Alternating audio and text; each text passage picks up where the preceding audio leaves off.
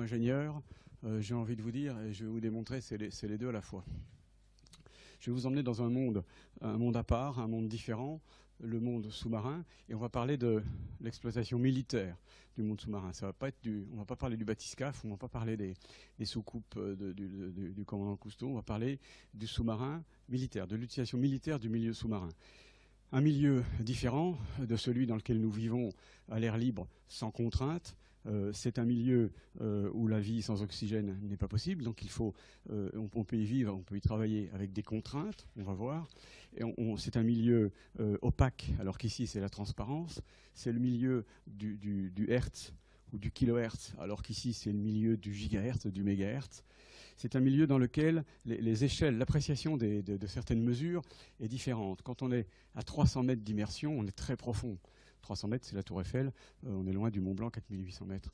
Quand on va à, 25 nœuds sous l'eau, c'est-à-dire 40 km heure, on va très très vite.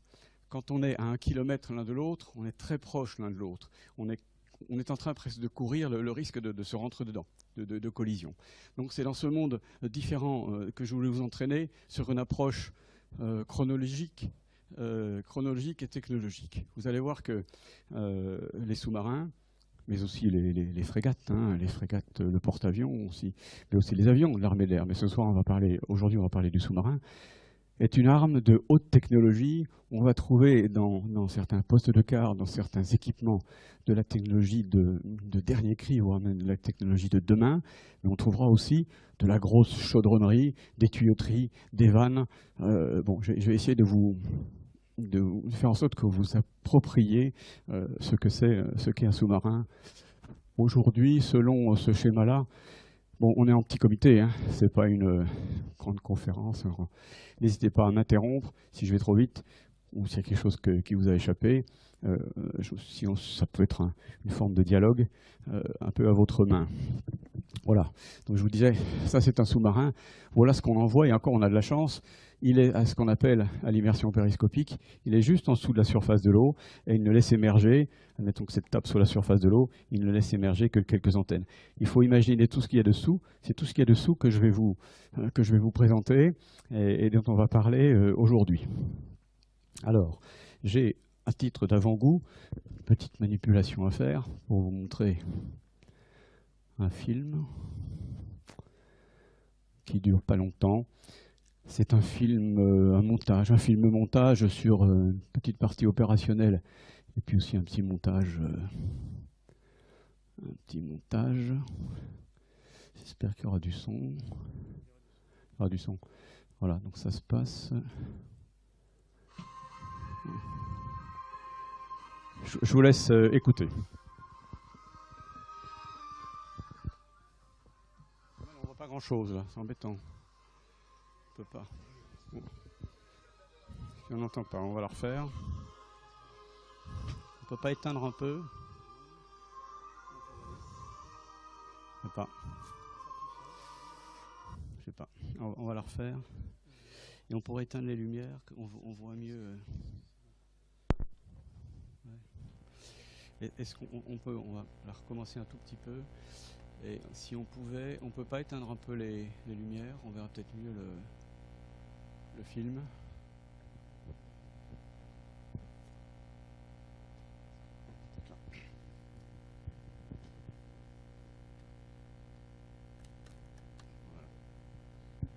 On va essayer comme ça, si ça rend mieux.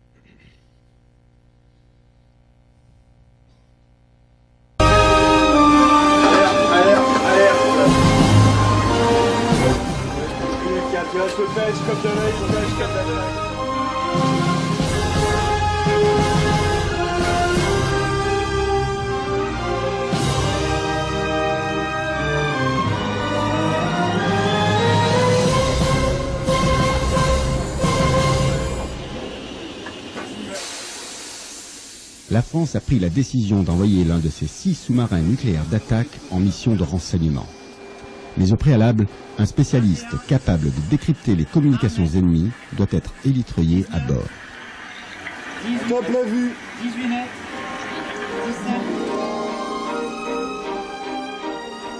Nous sommes quelque part en Méditerranée. c'est l'heure d'un rendez-vous top secret entre un lynx de l'aviation navale et le SNA.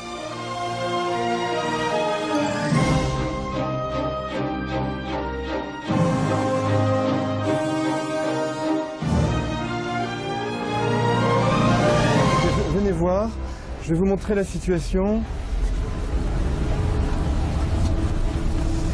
Alors, on, on est ici. On Discrétion, capacité d'écoute font de ce sous-marin à propulsion nucléaire un outil privilégié pour la surveillance de zone, le contrôle du trafic maritime et le recueil de renseignements.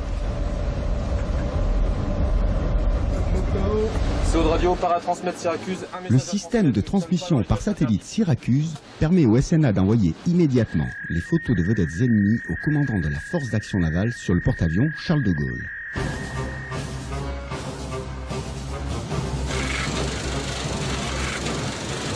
Changement de programme. Un message flash indique qu'une vedette ennemie vient de tirer un missile en direction d'une frégate française.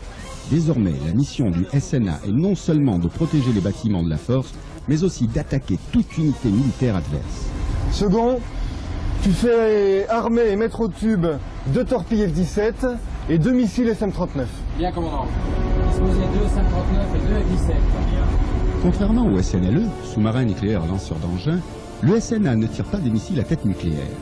Mais avec ses quatre tubes armés, il peut lancer des torpilles anti-navires, anti-sous-marines ou des missiles SM-39 à changement de milieu contre but de surface. Torpille, un missile paré, commandant. Bien, j'ai l'intention de l'engager torpille. Attention, point bien pointé sur le 25, la frégate. Lancé sur le 25. Top la frégate.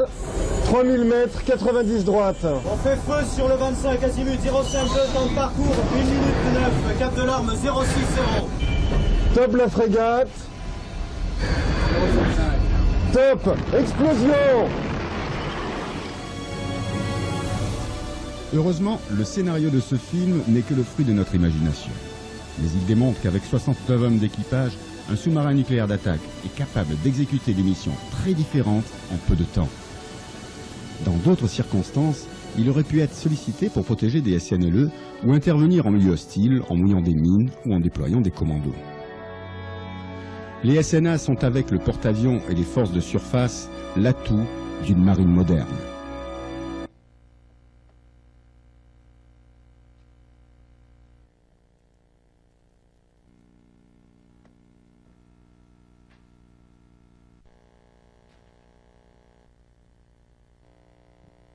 Là euh, l'an dernier, on était l'an dernier, euh, au début du film, au large de la, Libye, où les sous-marins d'attaque ont assuré une permanence, euh, devant les côtes libyennes pendant les opérations.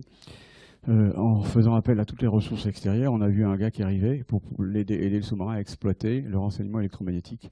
Ils, sont restés en permanence à l'émission périscopique pour soutenir l'action terrestre et l'action aérienne.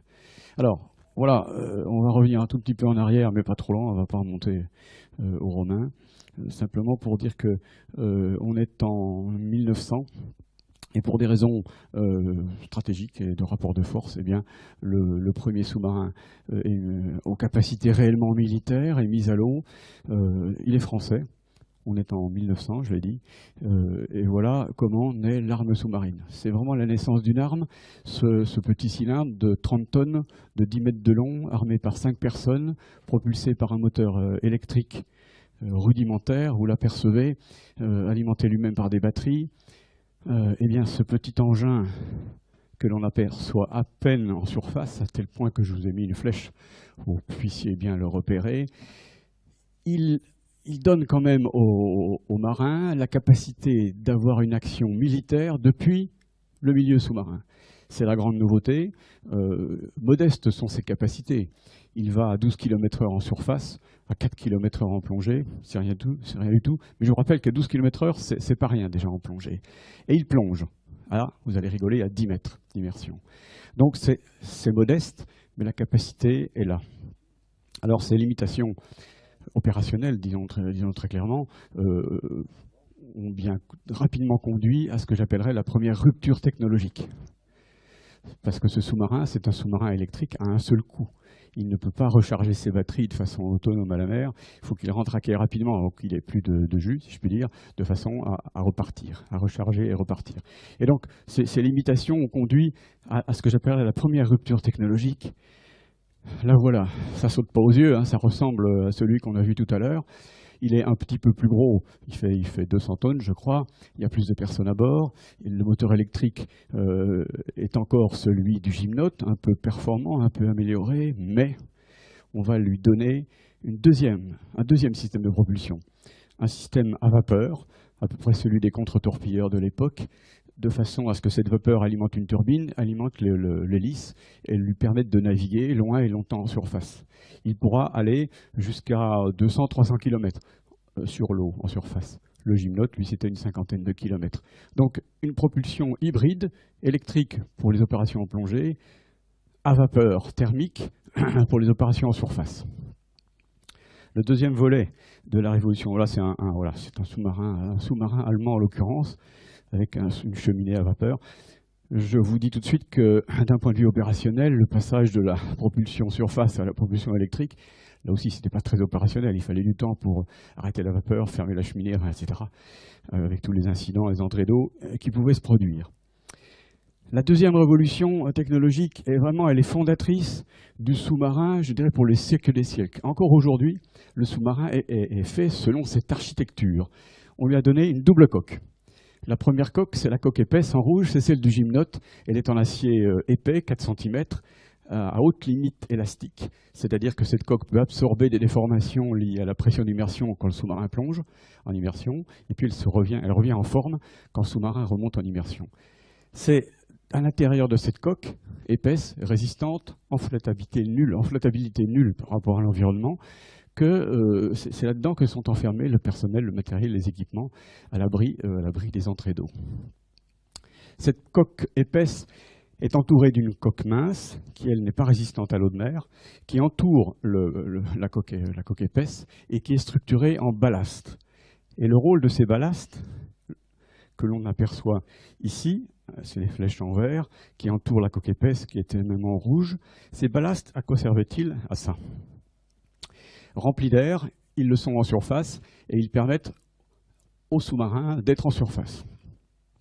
Pour plonger, il ouvre les purges au-dessus des ballasts, l'air s'échappe, l'eau rentre par le fond toujours ouvert, envahit les ballasts, le sous-marin coule finalement, et en immersion, il est en écuit, enfin il respecte l'équation d'Archimède sur la flottabilité nulle de la coque épaisse.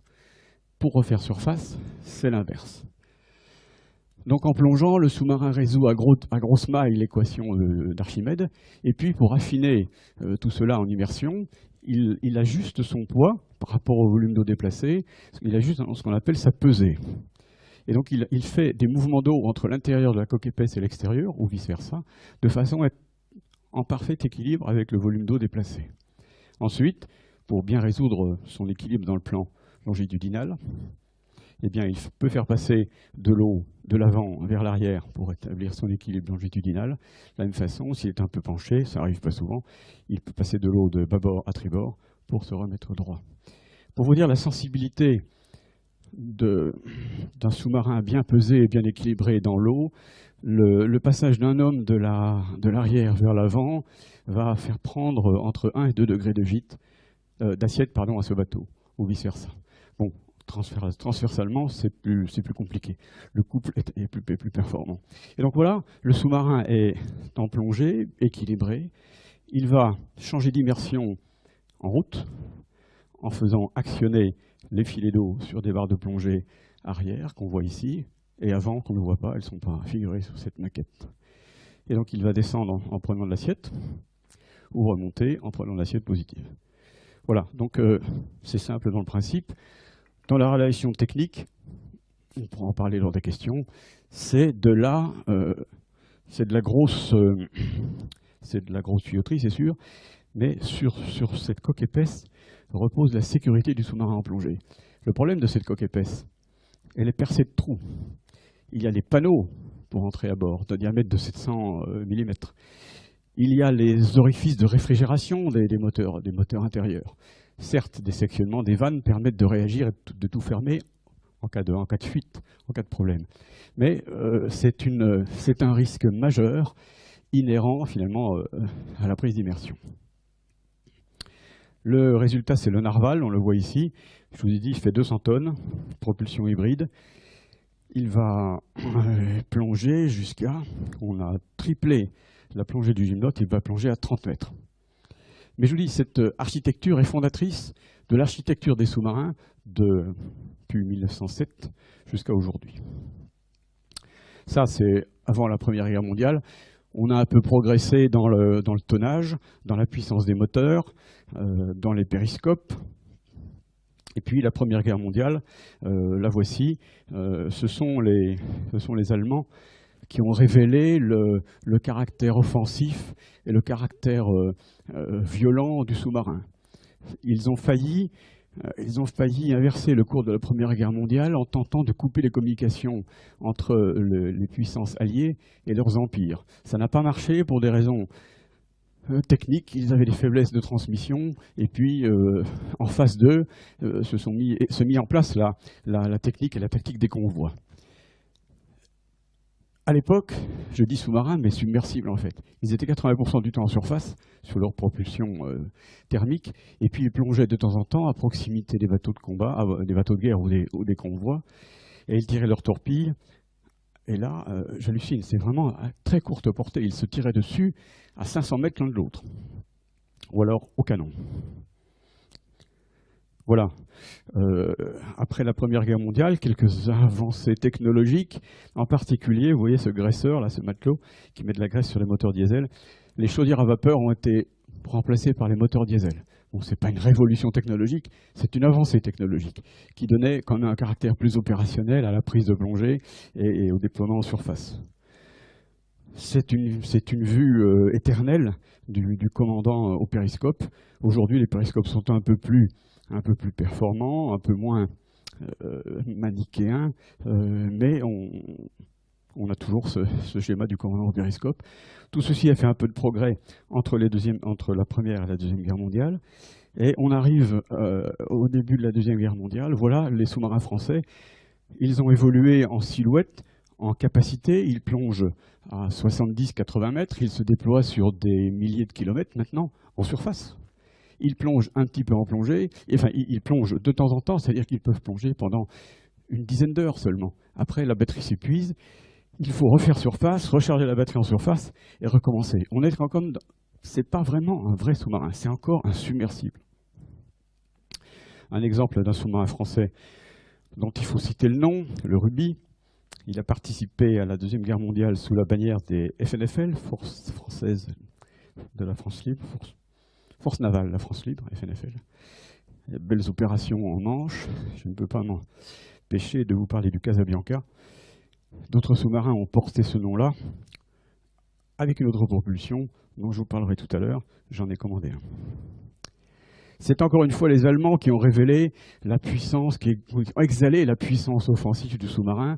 Ils en avaient 26 au début de la guerre, ils en ont construit plus de 1000 et en ont mis en service plus de 1000 pendant, la guerre, vous voyez la silhouette, c'est un sous-marin à double coque, c'est le cylindre blanc qui contient les équipements les hommes, entouré de la coque épaisse, euh, de la coque mince, pardon, euh, qui lui donne un profil hydrodynamique qui englobe les mâts, le kiosque, les périscopes, etc.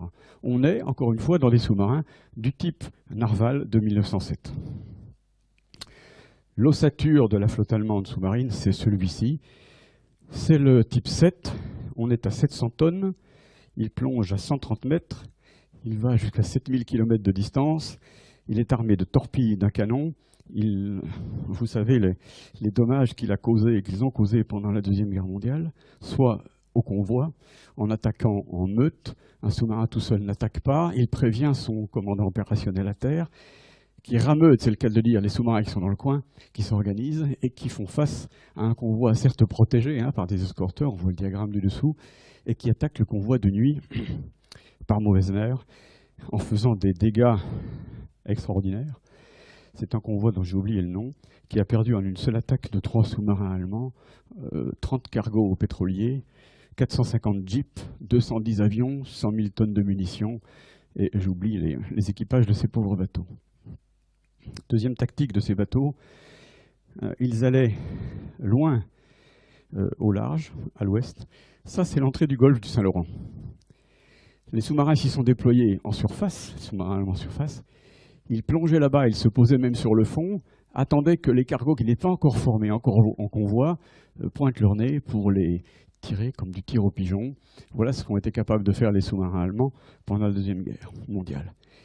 Ils ont exhalé la puissance offensive du sous-marin, certes pour, pour un pouvoir politique euh, absolument innommable, mais je dois dire que je rends un grand hommage à ces, sous-mariniers en tant qu'hommes sous-mariniers, en tant que techniciens, en tant que marins, euh, pour ce qu'ils ont su faire, ce, qu'ils ont pu faire. On partait, on était lieutenant, on partait pour une première patrouille comme, lieutenant.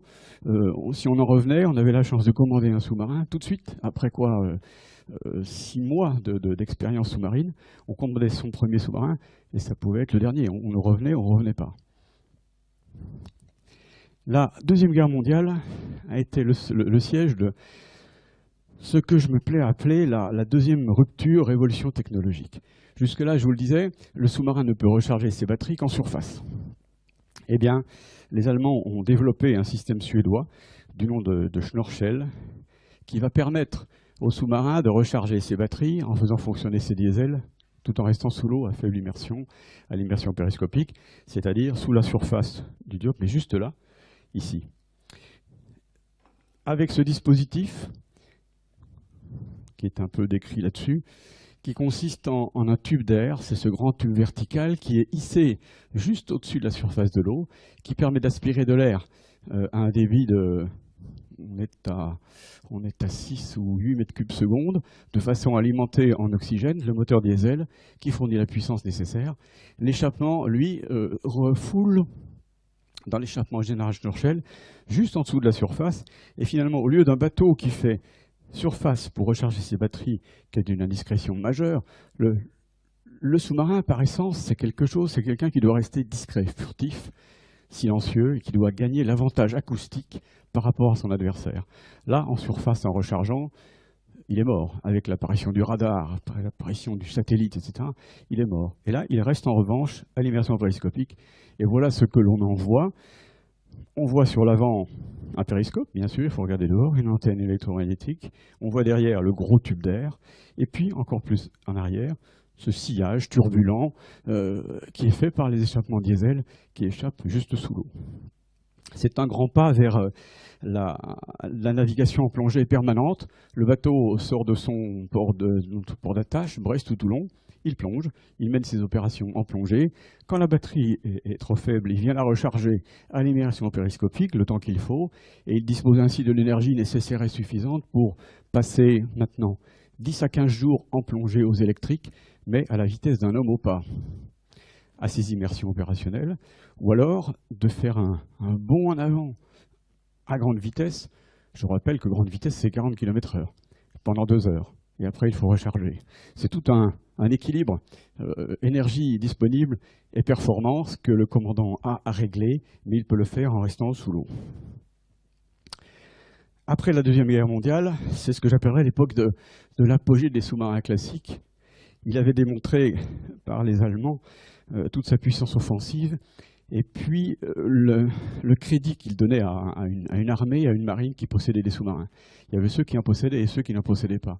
Tout le monde en a acheté et construit en Europe, autour de la Méditerranée, euh, mais aussi euh, partout dans le monde, au Brésil, en Inde, au Pakistan, euh, en Chine, bien sûr. Et donc, au total, voilà euh, ce dont le, volume de la flotte sous-marine et le nombre de nations qui, qui les ont possédées euh, à partir de 1950. Les Russes ont construit une flotte colossale de 300 sous-marins euh, diesel électriques, sous-marins classiques, des plus rustiques, des plus anciens, des plus robustes, aux plus modernes, euh, qui est en dessous en couleur. Les coques se sont affinées. Vous voyez que ce ne sont plus des coques de, contre-torpilleurs, mais des vraies coques en forme de goutte d'eau. On appelle ça la forme Albacor, du premier sous-marin américain qui avait cette coque-là. Les sous-marins vont maintenant plus vite en plongée qu'en surface. En surface, s'ils vont trop vite, ils vont plonger tout seuls, parce que la forme de la coque est telle qu'elle va les faire plonger. Et donc, ils vont plus vite en plonger, plus vite en plonger, on est à 25 nœuds pendant quelques heures. Les capacités des batteries euh, et, les performances des moteurs électriques vont leur permettre de rester mais des jours et des jours sous l'eau. Quand je dis des jours sous l'eau sans recharger, c'est une dizaine de jours à 4-5 nœuds. Ça permet à ces sous-marins-là de faire de véritables patrouilles opérationnelles et de compter, et de compter euh, sous la mer, si je puis dire. La France a construit quant à elle, entre 1950 et 1970, quatre grandes séries de, de sous-marins. Ça, c'est le Narval, c'est celui-ci, ça, c'est l'Espadon. C'est celui que j'ai commandé en 1983, le premier commandement. Des bâtiments océaniques, 1200 tonnes. Plongeaient à 200, à 200 mètres, lançaient leurs torpilles à 200 mètres, avaient une capacité euh, élec- électrique installée, 3 diesels. 3 diesels, 2 mégawatts énergie, d'énergie. Euh, on déchargeait la batterie. J'arrivais à faire des temps de plongée, je vous dis, de plusieurs jours. Et en 20 minutes de recharge 3 diesels à fond au Schnorchel, je récupérais euh, 15% de capacité batterie toutes les 20 minutes. Ces bateaux, des bateaux océaniques, avec lui, euh, la France euh, peut tenir son rang euh, sous l'eau, sur les océans. Avec lui, je suis allé du port de Tripoli jusqu'à Dakar. Je suis allé de Dakar aux Antilles, de Dakar à la mer de Bahreïn. C'est tout ça pour dire que on avait, avec ces engins-là, euh, la capacité de compter sous la mer. La France avait la capacité de compter sous la mer. Euh, avec un poids, un poids euh, militaire intéressant. Je cite souvent cet exemple, on peut en parler, tout ça est fini, tout ça est passé. Ça se passait lors de, la guerre au Tchad contre M. Hissénabré, et le M. Kadhafi soutenait M. Hissénabré. Et on a, fait pas, on a fait peser sur le colonel Kadhafi une menace sur sa façade maritime par la présence d'une force aéronavale, c'était le Clémenceau et ses frégates, et en avant, en première ligne, euh, la présence d'un sous-marin avec une mission de combat, détruire toute, frégate ou toute corvette libyenne qui aurait tenté de sortir du port euh, pour aller euh, créer des dommages au Clémenceau, donc une forme de blocus du port de M. Kadhafi. J'ai pas tiré de torpille, mais j'ai mouillé des mines. On peut le dire maintenant, elles doivent y être encore. Des mines, ça se mouille, ça s'active ou ça se désactive. On n'a jamais été activées parce que c'est la situation politique qui l'a décidé. Mais voilà le type d'action de combat que pouvait faire ce type de bateau. Je suis parti de Lorient et je suis rentré à Lorient après 42 jours de mer, enfin 42 jours de patrouille sur ce bateau qui fait 1200 tonnes, mais que je qualifierais de petit bateau quand même. Tout ça, c'est pour vous parler un tout petit peu de ma carrière là autour, mais je reviendrai sur les, hommes hein, dans les sous-marins. Autre type de sous-marin construit, plus petit, 400 tonnes, 200 mètres et des torpilles, avec des missions essentiellement de renseignement sur le théâtre méditerranéen et le pistage des, des sous-marins russes à l'époque. Parce qu'aux électriques, ce sous-marin était très très discret. Autre série mythique de sous-marins construites par les Français. Tous ces sous-marins ont été sont- ne sont plus en service actif. Mais c'est pour vous montrer, euh, finalement, c'est l'apogée des sous-marins classiques où la France a compté et ce que la France a fait. Une série de sous-marins de type Daphné. On en a construit 20. Vous voyez, c'est encore un sous-marin très très classique avec sa double coque, le cylindre intérieur. J'y reviens pas. On voit bien ses appendices. Vous voyez de, quoi est constitué l'intérieur de la coque épaisse. Je voudrais rendre hommage à cette série de sous-marins. Toutes les forces sous-marines ont payé leur tribut à la mise en œuvre opérationnelle, à la construction de leurs sous-marins. Les Russes en ont perdu, les Américains en ont perdu, nous en avons perdu deux de ce type-là. C'est la Minerve en 1967, c'est le Redis en 1969. On sait pourquoi, on les a pas retrouvés, on sait où ils sont coulés, on les a pas retrouvés, on on a pensé comprendre pourquoi. Ces sous-marins-là représentaient un progrès technologique énorme par rapport aux précédents. Ils plongeaient à 300 mètres. Ils avaient une agilité, une mobilité extraordinaire. euh, et donc on a mis entre les mains de commandants de sous-marins, certes expérimentés, mais ne réalisant pas le, risque qu'ils prenaient en maniant ces bateaux-là avec, euh, en faisant trop de place euh, au côté opérationnel. Et un peu abstraction des risques de la sécurité en plongée. Imaginez un sous-marin comme ceci qui est au Schnorchel, hein, ce fameux truc qui, aspire de l'air euh, juste à la surface de l'eau. Admettons que le sous-marin ne tienne pas l'immersion et, que le tube d'air rentre dans l'eau et que le clapet, un clapet à boule électronique ne se ferme pas. C'est 6 tonnes à la seconde. Au bout, de, au bout de 4 à 5 secondes, il est trop tard pour réagir. Le sous-marin a embarqué 30 tonnes d'eau. S'il n'a pas réagi avant, il ne pourra pas s'en sortir alors qu'il est tout près de la surface de l'eau. Il, est juste en dessous. Là, je viens de vous parler pendant 20 secondes, ça fait déjà 120 tonnes d'eau. Si le sous-marin n'a pas réagi, il est déjà au fond. Donc une belle série de sous-marins. Donc 300 mètres, j'ai dit, des torpilles, pas de missiles pour cela, des beaux bateaux.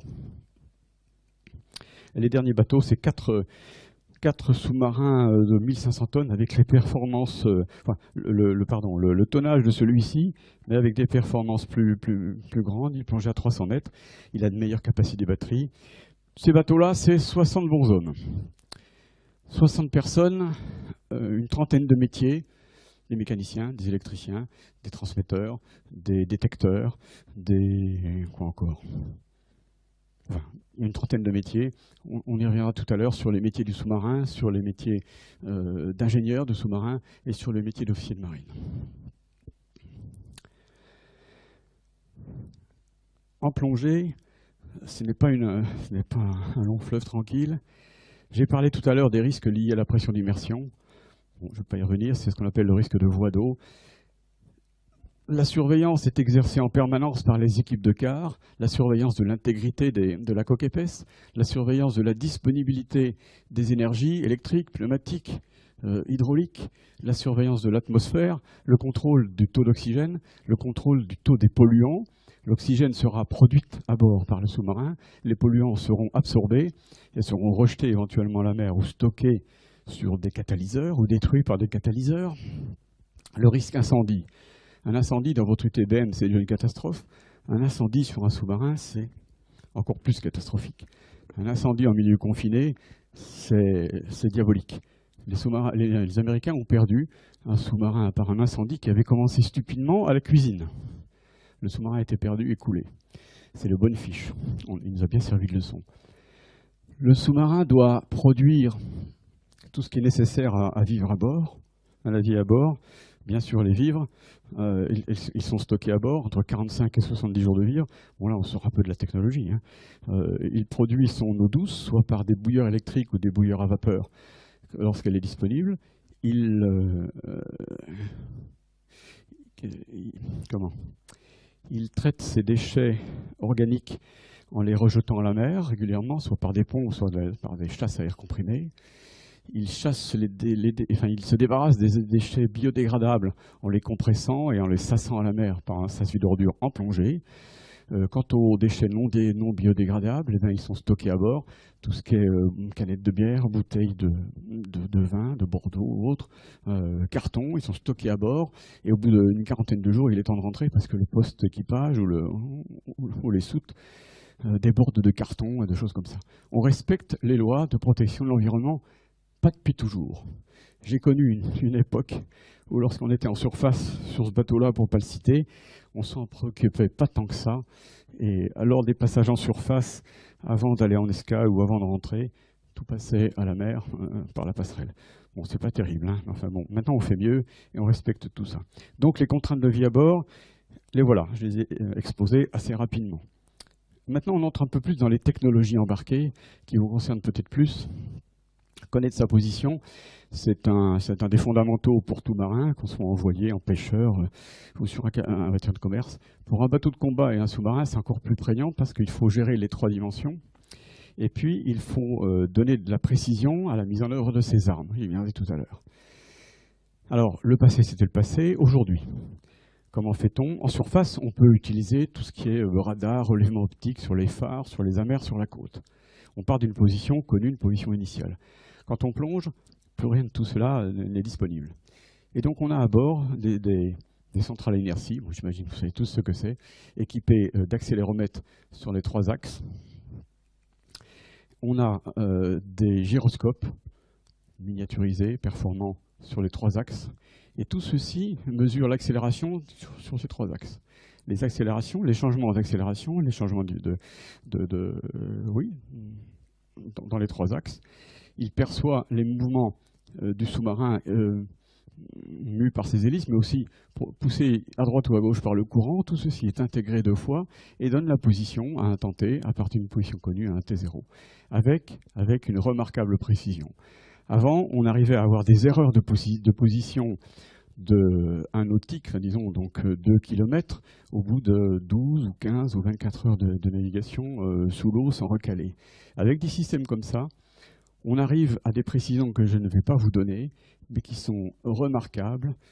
Euh, pour tout vous dire, on arrive aujourd'hui à garder une précision de position nécessaire et suffisante pour la mise en œuvre des armes des sous-marins classiques, sous-marins d'attaque, voire même des armes stratégiques, pendant le long, de longs, de longs jours, de longues semaines, sans commettre aucune indiscrétion, ni euh, en regardant les étoiles, en prenant, en prenant, un point GPS, ou en regardant vers le fond par un sondeur. Là, on a doté les sous-marins euh, stratégiques et les autres de capacités de, navigation avec précision cohérente avec le besoin de mise en œuvre des armes tactiques ou stratégiques.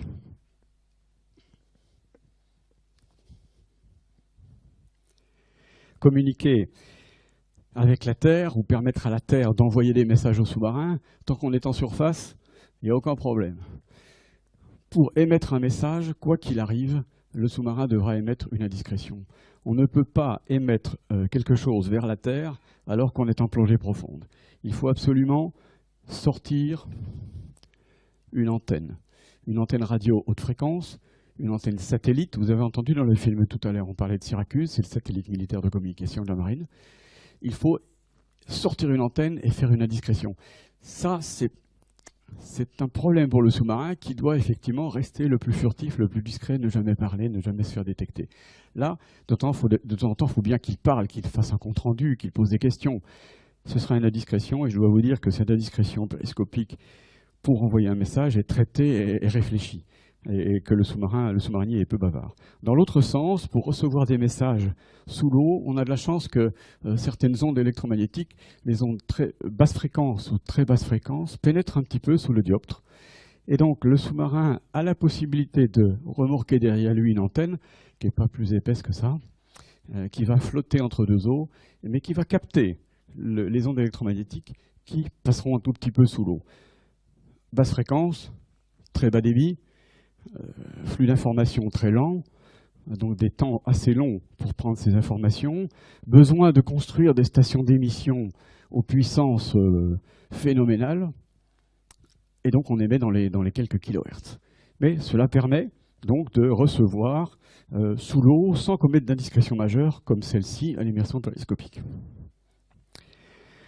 L'arme de prédilection du sous-marin, vous l'avez compris, c'est la torpille. On n'est plus euh, autant des torpilles allemandes que l'on tirait à 500 mètres.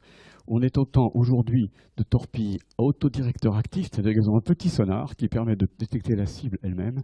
Elles sont même pilotées euh, par une console de jeu, hein, comme vous pouvez voir chez vous, depuis l'intérieur du sous-marin. À des distances extraordinaires, on peut filoguider, c'est le mot, une torpille pendant une vingtaine de minutes, une trentaine de minutes. Donc on peut attaquer, à partir du moment où on a détecté une cible, on peut l'attaquer à très grande distance, au-delà des cercles de détection qu'aura la force ennemie sur vous. Le sous-marin a cet avantage tactique, acoustique, stratégique par rapport aux autres forces. Le sous-marin intervient depuis quelque temps euh, au-dessus de la surface par le fait qu'il peut envoyer également des missiles. Le missile Exocet est même ça vous dit quelque chose, j'imagine, la guerre des Malouines, etc. Donc le sous-marin est capable d'en embarquer une version sous-marine qui est encapsulée dans une, quasiment une torpille, qui est chassée, qui est propulsée, éjectée, qui fait surface. Et ensuite le missile SM-39, c'est la version sous-marine de, de l'exocet MM-38 ou MM-40, hop, vit sa vie et va, euh, et va attaquer une cible de surface. Il ne va pas la couler, il va euh, la clouer sur place en détruisant ses antennes, sa passerelle, mais ne va pas la couler, je reviens sur la torpille, c'est l'arme qui va couler le gus d'en face. Vous voyez dans quel monde de technologie je vous emmène, mais dans quel monde de violence et de, oui, et de, de dommages irréversibles euh, où je vous emmène. Demain, euh, le sous-marin pourra embarquer le missile qui est en haut à droite, ce qu'on appelle le missile de croisière navale, qui va pouvoir permettre au sous-marin de tirer depuis sous l'eau et d'attaquer euh, à un millier de kilomètres une cible terrestre. S'il avait fallu euh, tirer sur, euh, enfin, mener des opérations contre la Syrie, eh bien, on ne peut pas le faire nous parce qu'on ne les a pas, mais les sous-marins américains et britanniques, pas les britanniques, hein, ils s'étaient retirés, étaient en position pour tirer depuis le large de, la, de Chypre des missiles de croisière navale sur des objectifs bien définis, euh, avec une grande précision. On peut détruire cet amphithéâtre seulement avec cette arme, sans faire de dégâts collatéraux euh, sur la cafétéria ou sur le bureau du directeur. Voilà ce qu'on peut faire avec. Demain, les sous-marins auront cette arme. Le seul moyen, enfin le moyen privilégié, sinon unique, de, de transmettre de l'information sous l'eau, c'est le son. De nombreux ingénieurs ont cherché à trouver autre chose.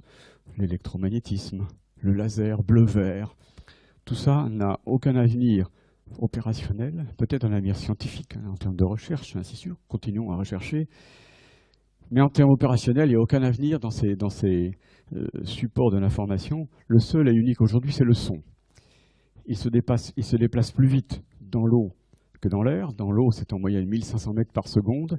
Et la propagation du son dans l'eau est soumise à des équations de propagation euh, géométriques et énergétiques, euh, dont les paramètres euh, majeurs sont la température, T, la salinité de l'eau de mer, S, la densité euh, de, l'eau de mer, c'est la courbe noire.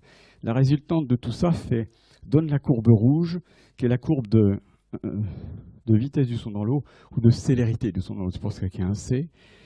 Vous voyez qu'on est à 1520 mètres secondes euh, en surface. Elle décroît jusqu'à 500 mètres, puis elle recroît par l'effet de la, pression finalement euh, jusqu'au fond, 4000 mètres.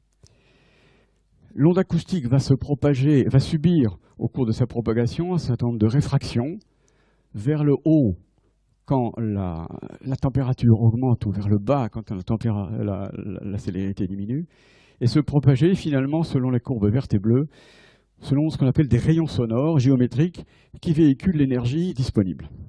Dans le cas euh, du milieu, vous voyez que tout le milieu maritime, tout le milieu sous-marin est insonifié. Dans le cas en dessous, où la célérité est à peu près constante et qu'elle est ensuite brutalement négative, il y a concentration des rayons sonores et de l'énergie dans ce qu'on appelle un chenal sonore de surface. Ensuite, en dessous de cette couche, de ce point d'inflexion, les rayons plongent vers le bas et créent une zone d'ombre au-delà de 3 km de l'émetteur. Voilà. Et c'est vraiment vrai. Et on l'a tous vécu, sous-marinier, en Atlantique, en hiver, où la température est à peu près uniforme, on entend, mais quasiment sur le, le monde entier, on entend un bateau de commerce qui fait du bruit, certes, mais on l'entend quand on est en opération au large du golfe de Gascogne, on l'entend sortir de la Manche, et on l'entend quasiment jusqu'à Terre-Neuve. Pendant quatre jours, on peut entendre un bateau, certes un peu bruyant. Dans d'autres cas vécus en Méditerranée, par forte chaleur, en plein été, en plein jour, euh, vous êtes sous l'eau, vous préparez ce qu'on appelle le retour à l'immersion périscopique, la reprise de vue. Vous faites toutes les manœuvres qu'il faut, vous orientez vos sonars dans tous les sens, rien à l'écoute. Commandant, on peut remonter à l'immersion périscopique. Allons-y, 20 mètres, en écoutant quand même, faisant attention. Mais normalement, il n'y a rien. Et là, on sort le périscope, on fait un tour d'horizon de sécurité très rapide pour voir que tout est clair. Mais tout d'un coup, tout n'est pas clair. Et on regarde là, qu'est-ce qu'on voit? L'étrave d'un, vous savez, des, des, ferries qui font la traversée euh, Corse-Toulon, qui vous foncent dessus.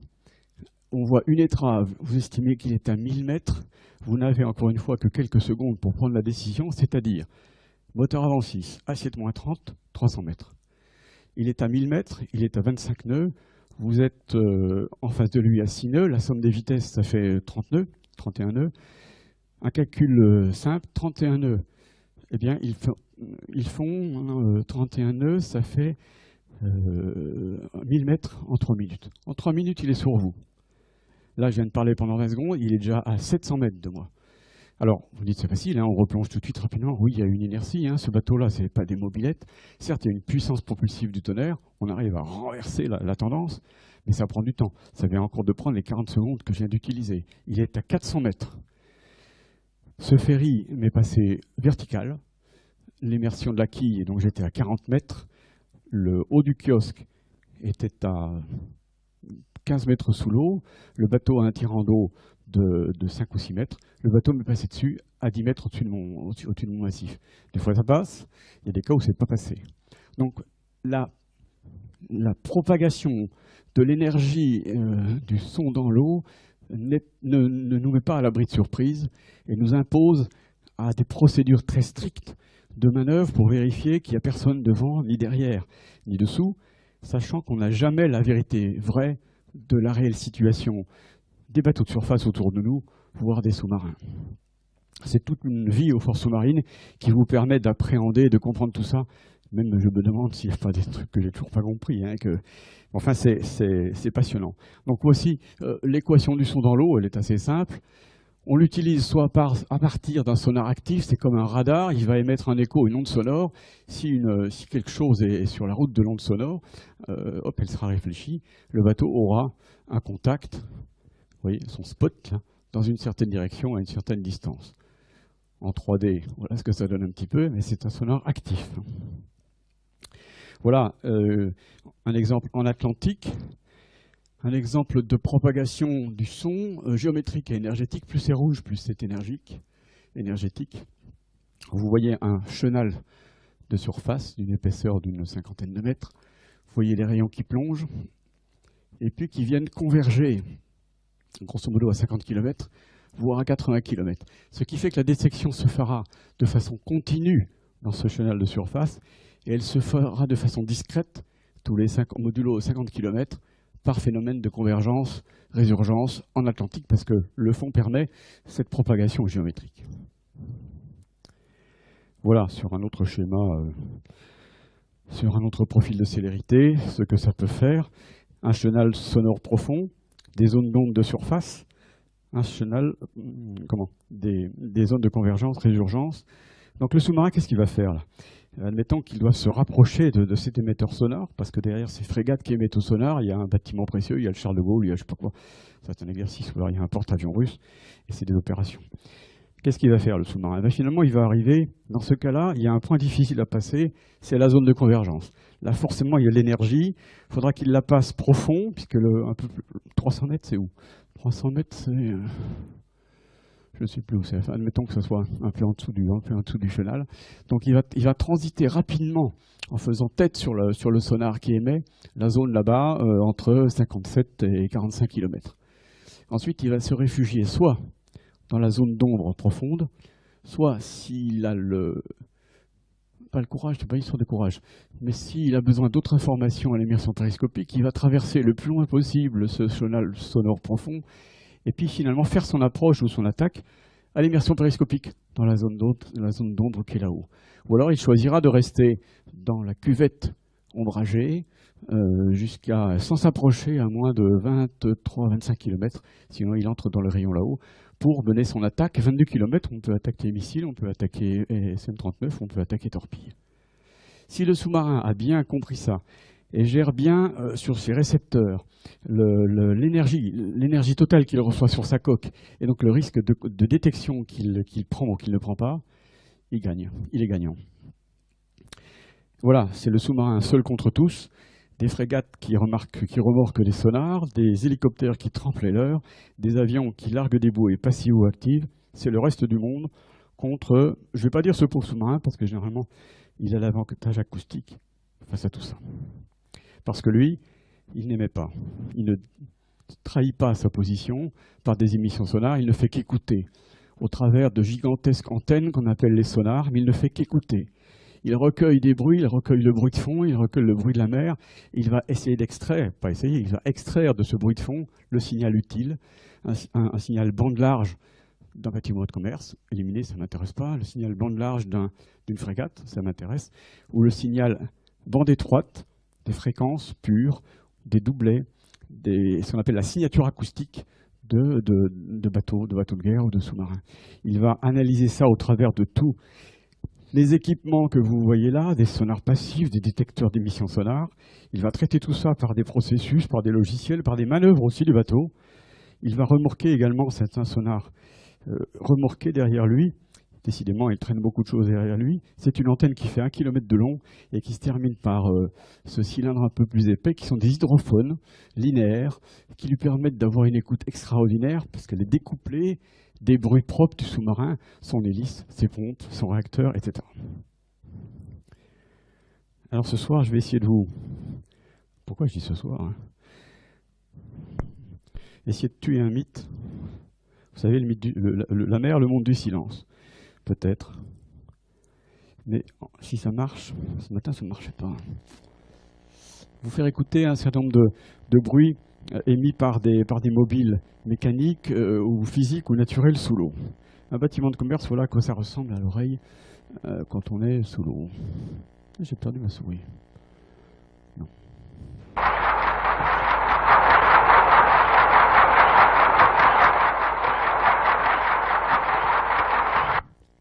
Ça fait du bruit.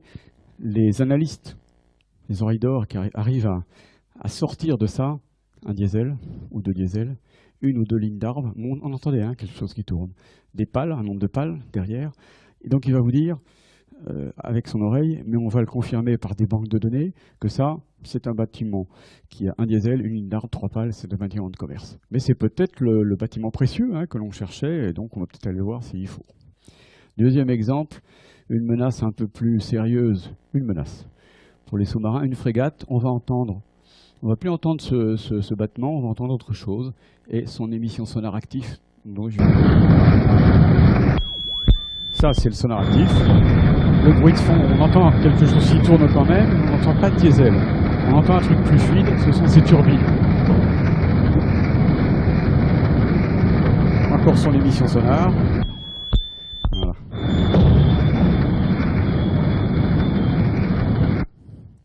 Bon, alors j'en ai plein, on va quand même aller assez vite.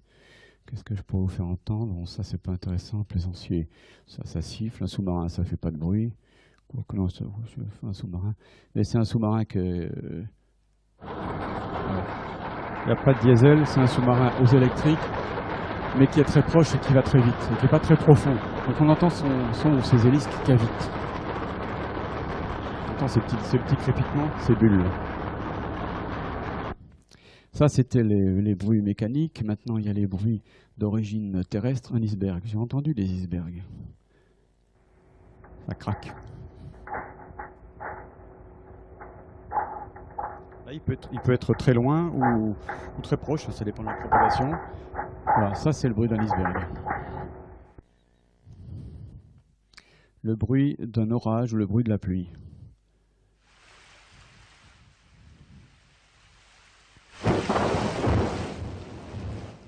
C'est comme, chez vous. C'est comme dans l'air, là, c'est rigolo. Bon, alors des bruits d'origine animale, j'en ai plein, j'en ai trop, un tremblement de terre, comme ça, c'est. fait pas. En bas, c'est le spectre bande large ou, bande, bande étroite euh, du phénomène. Les animaux, j'en ai quelques-uns, on va pas les passer tous. hein. Ouais.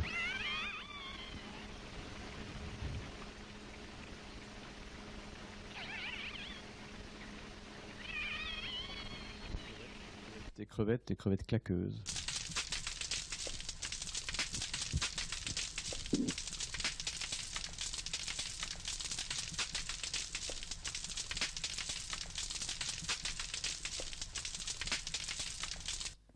Voilà, si, si j'ai, enfin, j'en ai plein, mais je ne veux pas vous, vous saouler avec tout ça. Après, vous, vous aurez qu'un souvenir, c'est l'amiral avec ses crevettes et ses bruits, et ses bruits d'animaux.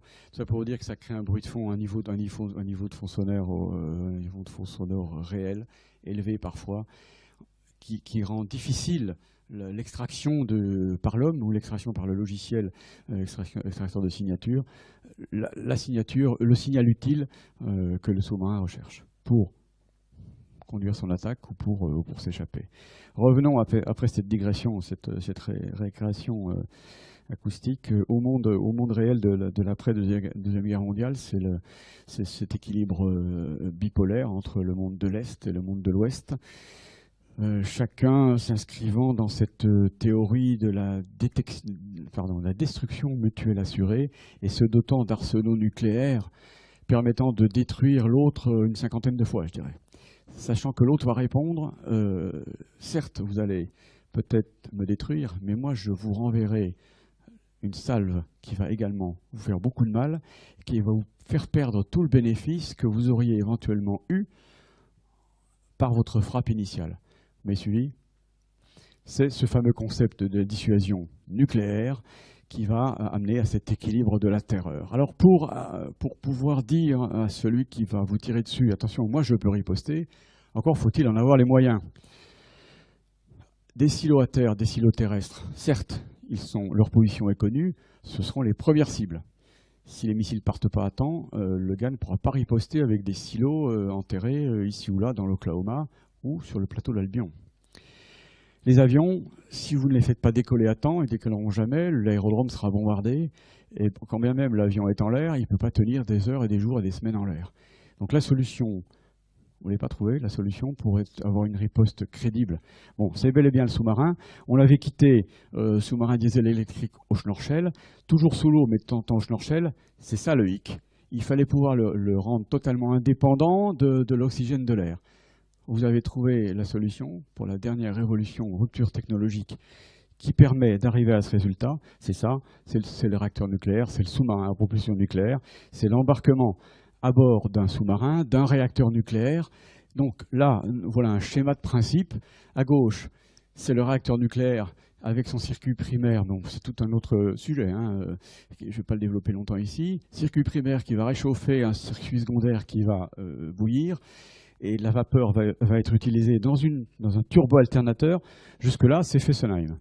C'est à peu près pareil, à quelques détails près de technologie euh, permettant d'assurer le fonctionnement de ce, de ce réacteur dans quelque chose qui bouge dans les trois dimensions, qui prend l'assiette, qui remonte, qui appelle de la puissance, qui n'en veut plus, alors que Fessenheim, c'est tout ou rien, elle est fixe, que je sache. Et donc, le plus, c'est cette turbine de propulsion qui va alimenter un réducteur et qui va faire tourner la ligne d'arbre. Voilà, dans le principe, le, réacteur nucléaire embarqué, avec une nouvelle contrainte. Il va amener le problème de la surveillance de l'environnement, surveillance de l'atmosphère vis-à-vis de, la radioprotection de l'homme et, des matériels. Voilà le réacteur nucléaire du redoutable et les postes de commande en espace très réduit. On n'est pas à Fessenheim ou, à Cruas, où finalement la, seule, la salle de contrôle du réacteur, c'est à peu près celle-ci. Là, c'est à, peu près, euh, à peu près ça. Bien sûr, ce sont les Américains qui se sont mis les premiers. On est en 1961, c'est le George Washington. Il a 24 missiles qui portent à 2000 km, mais c'est déjà ça. On a un, sous-marin ici qui est, vous voyez, il fait, euh, lui déjà 14 euh, 000 tonnes. Il fait trois terrains de football. On est déjà dans une autre dimension. Je vous rappelle, pour ceux qui auraient oublié, le Gymnote, 30 tonnes, le Narval, le premier Narval, 200 tonnes les, Américains ont modernisé leurs sous-marins et leurs missiles. Aujourd'hui, ils articulent leur flotte euh, stratégique autour d'une quinzaine, euh, demain de 12 sous-marins nucléaires stratégiques lanceurs d'engins, lançant des, ce qu'on appelle des missiles Trident 2 D5 portés 11 000 km. Multitête, aide à la pénétration, quelque chose de vraiment crédible. Et dans le déclaratoire, ça marche aussi parce que de temps en temps, il faut faire des essais. Et Dieu sait si leurs essais ont bien fonctionné. Donc on sait qu'il y a une réelle puissance nucléaire capable de délivrer une frappe en second, en riposte à une première attaque nucléaire. Les Russes soviétiques à l'époque ont construit des monstres. Regardez les hommes qui sont sur ce pont. Il n'y a pas d'effet de loupe. Hein. Je peux faire n'importe quoi avec un diaporama. Il n'y a pas d'effet de loupe. C'est la réalité. Ce sont des monstres. C'est des typhoons. Ils font 24 000 tonnes. Ils embarquent 24 missiles. Ils ont trois coques épaisses euh, accostées l'une à l'autre, enrobées par cette euh, horrible euh, coque mince énorme. Cela dit, c'est un, échec technologique et c'est une erreur euh, stratégique. Ces sous-marins n'ont jamais bien fonctionné. Ils ont fait finalement de la posture nucléaire à quai. C'est comme si on avait un Albion finalement à quai quelque part euh, à Mourmansk, on sait où ils étaient.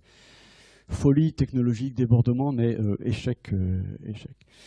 ils ont maintenant aujourd'hui articulé leur flotte de sous-marins stratégiques autour de celui du bas, c'est le Delta 4. Mais retenez bien ce nombre, ils en ont, ils en ont ou ils en auront 8 comme celui-ci ou comme celui-là. Retenez bien ce chiffre de 8 pour les Russes, 12 pour les Américains, 4 pour les Britanniques. Regardez comme il est monstrueux. Regardez comme il est moche, parce qu'en fait, euh, euh, ils ont, les, Britanniques ont choisi de, de faire ça main dans la main avec les Américains. La partie arrière, le réacteur Westinghouse, réacteur américain, avec même une clé de fonctionnement américaine. La partie avant, euh, le massif peut-être aussi, euh, est britannique, le sonar est britannique. La partie milieu, c'est une tranche missile de, 16, de 24 missiles, peut-être un peu plus que nous. En tout cas, elle est américaine. C'est la copie conforme, c'est la tranche du sous-marin nucléaire américain aujourd'hui. Alors qu'on ne me dise pas euh, qu'ils sont indépendants dans la mise en œuvre de leur, flotte stratégique, c'est pas vrai. Ils l'ont payé moins cher du coup, hein, puisqu'ils ont acheté tout ça aux Américains, ils ont pu à le développer, ils ont pu à le, fabriquer, ils l'ont acheté beaucoup moins cher, mais ils vont faire le- leurs essais missiles sur les polygones américains. Donc ça a coûté moins cher, mais ils n'ont pas l'autonomie stratégique nucléaire avec ces bateaux-là. Nous si, nous si. C'était en 1968, je devais être euh, à Besançon euh, en train de manifester, je pense. Alors que le redoutable était lancé par le général de Gaulle. La France est venue à, ce concept de, de force de dissuasion, de force nucléaire. Vous savez pourquoi? Parce qu'encore encore avant, moi j'étais en culotte courte, où n'existait pas. C'était en 1956. C'est le conflit de Suez, où la France et la Grande-Bretagne, alliées à Israël, vont réagir militairement à la nationalisation du canal de Suez par Nasser insupportable pour la France, l'Angleterre et Israël. On y va avec des forces conventionnelles, on débarque des troupes, on attaque. Et là, deux puissances nucléaires nous disent stop, vous arrêtez, ou, ou bien, donc c'est les Russes et les, Américains nous ont dit vous arrêtez, ou bien, vous n'allez pas nous détruire euh, avec une arme nucléaire, ou bien, ou bien c'était on va faire exploser une bombe nucléaire au-dessus de la France, il y aura zéro mort, hein, il y aura zéro dégâts, il y aura zéro radiation, mais on le sentira parce que ce jour-là, plus d'électricité, plus de voitures. C'est l'effet électromagnétique de l'arme nucléaire. On aurait senti l'avertissement. Le gouvernement socialiste d'alors a dit plus jamais ça. De Gaulle arrive, il a dit plus jamais ça, et je m'en donne les moyens. Je construis une flotte de sous-marins nucléaires stratégiques. Le redoutable, le redoutable, première patrouille en 71, et les autres ont suivi. Vous verrez combien on en a. Alors, petite parenthèse euh, industrielle et technologique. Voudrais sur cette courbe vous, vous prouver que vous montrer la complexité et, et le défi que l'industrie, euh, les industriels français d'armement, mais aussi l'État qui s'est mis dans le coup, euh, quel défi euh, la France s'est lancée finalement en décidant de construire une flotte de sous-marins à propulsion nucléaire avec des missiles stratégiques. C'est le SNLE, il est là-haut. Vous voyez le nombre d'heures de travail, le nombre de pièces, le tonnage, 15 000 tonnes, le temps de construction, 80 mois, et juste avant, il y avait encore le même nombre de 80 mois pour concevoir, développer, construire les briques technologiques nécessaires à, l'empilement et à la réalisation du SNLE français. À titre de comparaison, ici, c'est euh, la 308. 23 heures, 3000 pièces, une tonne neuf. Pour vous dire que l'industrie d'armement, c'est quasiment la troisième composante de la dissuasion française. La première, les avions, les forces aériennes stratégiques. La deuxième, les sous-marins. La troisième, c'est la composante industrielle. On a une autonomie stratégique industrielle au travers de nos industriels d'armement. Ce sont ceux qui construisent les bateaux, la direction des constructions navales, ceux qui construisent les missiles, Astrium, leurs propulseurs, Safran, les équipements électroniques, Thales, Sagem. Je ne fais pas de pub pour les industriels, mais je voudrais vous dire comment l'investissement de ces gens-là dans ce domaine-là, avec beaucoup d'argent au début, beaucoup moins aujourd'hui, pour une, technologie, pour une industrie qui, tire la techno vers le haut. Une industrie qui produit, qui crée de l'emploi, qui recrute et qui, et qui je dis, qui, qui est dual. Un exemple sur euh, Ariane. Ariane n'aurait jamais volé aussitôt ni aussi bien si on n'avait pas construit avant des missiles stratégiques. Pourquoi? Parce que la tuyère d'Ariane a une homothétie près, il y a quelques petits détails près, c'est la tuyère du missile balistique stratégique développé auparavant. Donc cette dualité de technologie a superbement servi le milieu civil.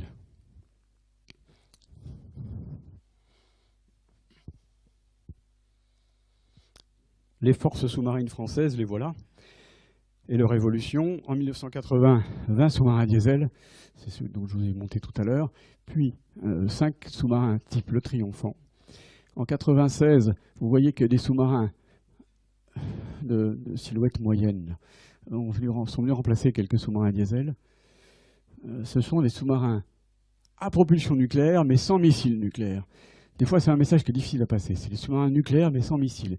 Ils ne sont pas dans la mission de dissuasion euh, que j'ai un petit peu écrite tout à l'heure. Ils sont dans la mission des sous-marins d'attaque.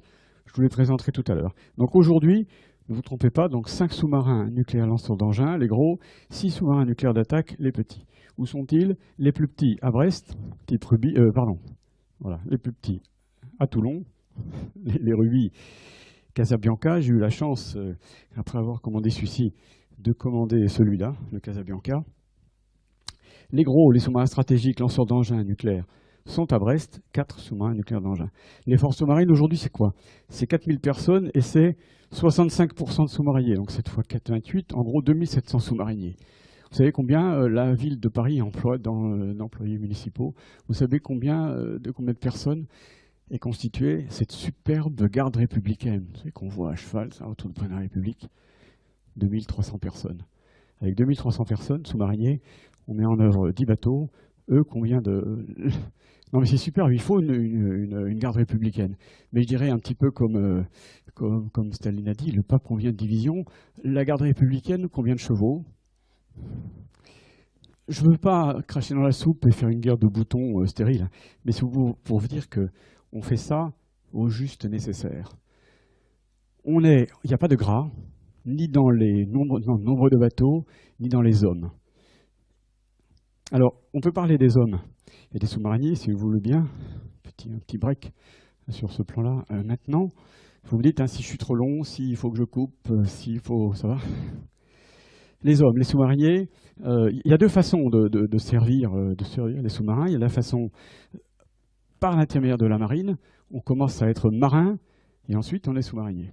Ou alors il y a l'autre volet, on est ingénieur et puis on va travailler pour euh, les industriels dont j'ai parlé.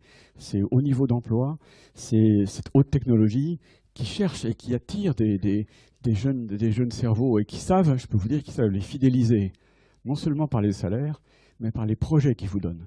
Quand vous êtes jeune, quand vous avez vos âges là, et que vous avez en main la définition, la conception d'un propulseur de missile de demain ou d'après-demain, euh, c'est sexy, non? Donc, marin, il y, a- deux façons d'entrer dans la marine. Soit euh, ce que j'ai fait, le lycée Cuvier. Oui, j'ai pas fait le et puis ensuite le lycée Victor Hugo à Besançon.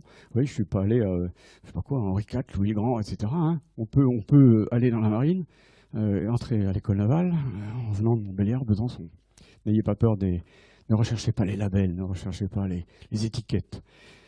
En revanche, euh, allez-y, réussissez votre concours, quel qu'il soit, en 3,5, après maths sup, maths. N'attendez pas en vous disant, tiens, euh, je peux encore me faire une L5 demi. Vous avez perdu un an, vous avez, êtes créé un préjudice dans votre vie à long terme, parce qu'il faut mieux y aller en, en sortant premier et en sortant jeune.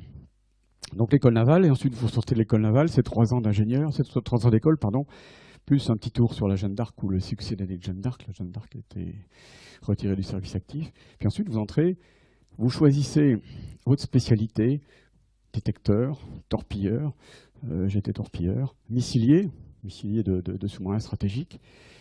Et vous choisissez aussi euh, la marine de surface, l'aéronavale, pourquoi pas, ou les forces sous-marines. Et vous, vous suivez une carrière qui est une carrière euh, au mérite. Pour avoir l'exemple des forces marines, on est jeune lieutenant euh, avec euh, deux poilus à commander, si je puis dire. Ensuite, vous avez trois galons, vous êtes chef de service. Vous avez un service à commander, voire un groupement, le groupement opération ou le groupement euh, énergie, avec le, réacteur à la clé derrière vous. Si tout va bien, vous êtes officier en second du, sous-marin. Bon, l'école navale, 20 ans, et j'ai commandé mon premier sous-marin après ce, j'avais 35 ans. Donc vous voyez, donc il a, a sorti de l'école à, à 22 ans, 12 ans après, à 35 ans, vous avez en main euh, la responsabilité du commandement d'un sous-marin. Celui-ci, ensuite, euh, maintenant il n'y en a plus, mais c'est des sous-marins nucléaires d'attaque. À 36, 37 ans, vous pouvez être commandant d'un sous-marin nucléaire d'attaque. Ensuite, si tout va bien, vous passez euh, sur les gros sous-marins, et si tout va encore bien, vous êtes commandant de sous-marin d'un sous-marin stratégique à euh, 7 ans, 95, non, 40, 45 ans. À 45 ans, vous avez en main ces gros bateaux qu'on a vus tout à l'heure.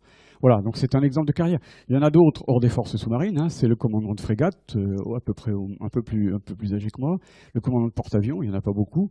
Mais vous voyez, il y a des postes de commandement de responsabilité. Le commandement à la mer d'un bateau de guerre, le commandement à la mer d'un sous-marin, c'est euh, extraordinaire. C'est une école de commandement, c'est une école de prise de décision, de management, de relations humaines. Sur un sous-marin, en plus, on est enfermés les uns avec les autres, pour l'instant sans personnel féminin, mais je peux y revenir si vous voulez.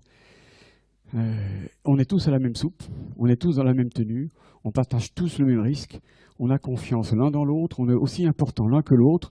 Mon barreur me disait souvent, je causais avec lui en patrouille le soir, la nuit, il me disait, mais comment vous êtes vachement plus important que moi, alors non? Pas plus que vous, ni moins que vous. Je me trompe dans mes choix de route, de vitesse d'immersion, dans mes choix euh, tactiques, euh, stratégiques. Je, menace la vie de tout le monde. Le barreur ne sait pas appliquer ces réactions d'urgence que je vous ai décrites tout à l'heure quand on découvre un bateau de guerre à 1000 mètres de vous. Ils nous mettent tous au fond. On a tous la même importance et moi je savais que tout le monde était compétent dans son domaine euh, et que tout le monde savait que euh, tout le monde était compétent dans son domaine. C'est ça, c'est ça l'équipe. euh, vous la ressentez peut-être, euh, oui, j'espère que vous la ressentez dans, votre école, dans vos classes, que vous la sentirez dans vos, dans vos bureaux d'études. Je peux vous dire que c'est extraordinairement valorisant, c'est extraordinairement euh, intéressant de, de- vivre comme ça en équipage euh, sur un sous-marin. On peut intégrer l'école, on peut intégrer la marine différemment, c'est-à-dire que vous êtes un peu plus jeune, vous pouvez entrer comme, comme matelot, vous engagez, la marine vous forme dans des écoles de formation, des écoles de spécialité, puis vous grimpez les grades. Dans la marine, on appelle ça des, des officiers mariniers, c'est l'équivalent des sous-ofs, des sous-officiers. Vous montez en grade, en responsabilité, et vous avez, par exemple, quand vous êtes au grade d'adjudant, l'équivalent d'adjudant, après trois ans et demi de formation, vous êtes celui qui, tout seul à l'arrière du sous-marin, a la main sur la conduite du réacteur nucléaire d'un sous-marin euh, en plongée. Je ne veux pas dire que le, le- le chef de quart de Fessenheim n'a pas une autre responsabilité aussi importante, mais là on ajoute la dimension sous-marine, la dimension confinement, la dimension euh, du, risque, du risque sous l'eau, et toutes les conséquences que ça a sur la mise en œuvre du bateau si jamais euh, cet homme-là ne sait pas faire son affaire. Donc voilà, deux, voies d'accès, deux chemins d'accès pour des métiers et une vie euh, passionnante, hein, ça peut vous dire. Je ne regrette pas une seconde. Il y a des sacrifices à faire, il y a des choix à faire. J'ai souvent laissé ma famille à terre. J'ai raté des, j'ai raté des épisodes du genre Noël, du genre euh, euh, la rentrée des classes, du genre les mauvais bulletins de notes. Bon, du genre, je sais pas quoi, la voiture qui tombe en panne et tout. Mais euh, oui, il y a des, des sacrifices à faire, mais bon, au résultat, pas de regret. Je reviens à notre force sous-marine française. Deux composantes, les gros bateaux, les sous-marins stratégiques à Brest, les voilà pour vous dire qu'on est, au nord, on est au nord, on est aux ordres de, pas n'importe qui. Ces sous-marins-là, on ne va pas les engager dans la bataille euh, tactique. Ce sont des outils politiques à la disposition du président de la République, et c'est de lui que viendra, de lui seul, l'ordre de tir, si jamais euh, ça arrive le jour du grand soir, directement au commandant du sous-marin, en utilisant les transmissions dont j'ai parlé tout à l'heure. Je sais que c'est lui, je sais de quoi il s'agit, je ne sais pas sur quoi je vais tirer, mais je sais qu'il faut que je le fasse parce que c'est lui et lui seul, il n'y a pas de doute dans mon esprit, c'est lui qui est en train de me le dire, on y va. Heureusement, c'est pas arrivé. hein. Ça, c'est un tir d'exercice, un missile français tiré au large, du centre des Landes, depuis le, un SNLE en, en sortie de, de grand carénage. Voilà euh, ce que serait, avec des échelles euh, totalement euh, factices, hein, ce que ce, qu'est le vol des missiles stratégiques, une phase propulsée avec plusieurs étages qui retombe à la mer, et puis le déploiement de ce qu'on appelle le cortège des têtes nucléaires. Et là, on est en balistique pure, c'est inexorable, c'est la mort qui arrivera de façon sûre et certaine sur l'objectif. Voilà quelques, quelques diapos de la phase de lancement du missile, l'ouverture de la porte en bas à gauche, la porte du tube du sous-marin, le missile qui émerge, qui franchit le dioptre, qui s'allume et qui est propulsé. Et là-bas à droite, c'est la retombée des têtes nucléaires d'exercice, hein, celle-là bien sûr. Vous voyez qu'il y en a plein, vous voyez que c'est dramatique. Euh, ça, c'est la mort qui arrive. Aujourd'hui, voilà la mission des sous-marins de Brest. Je vous le disais, Noël, Nouvel An, l'été, euh, l'hiver, le jour, la nuit. On a en permanence un, voire deux bateaux si nécessaire. Tous les jours de l'année, c'est ça.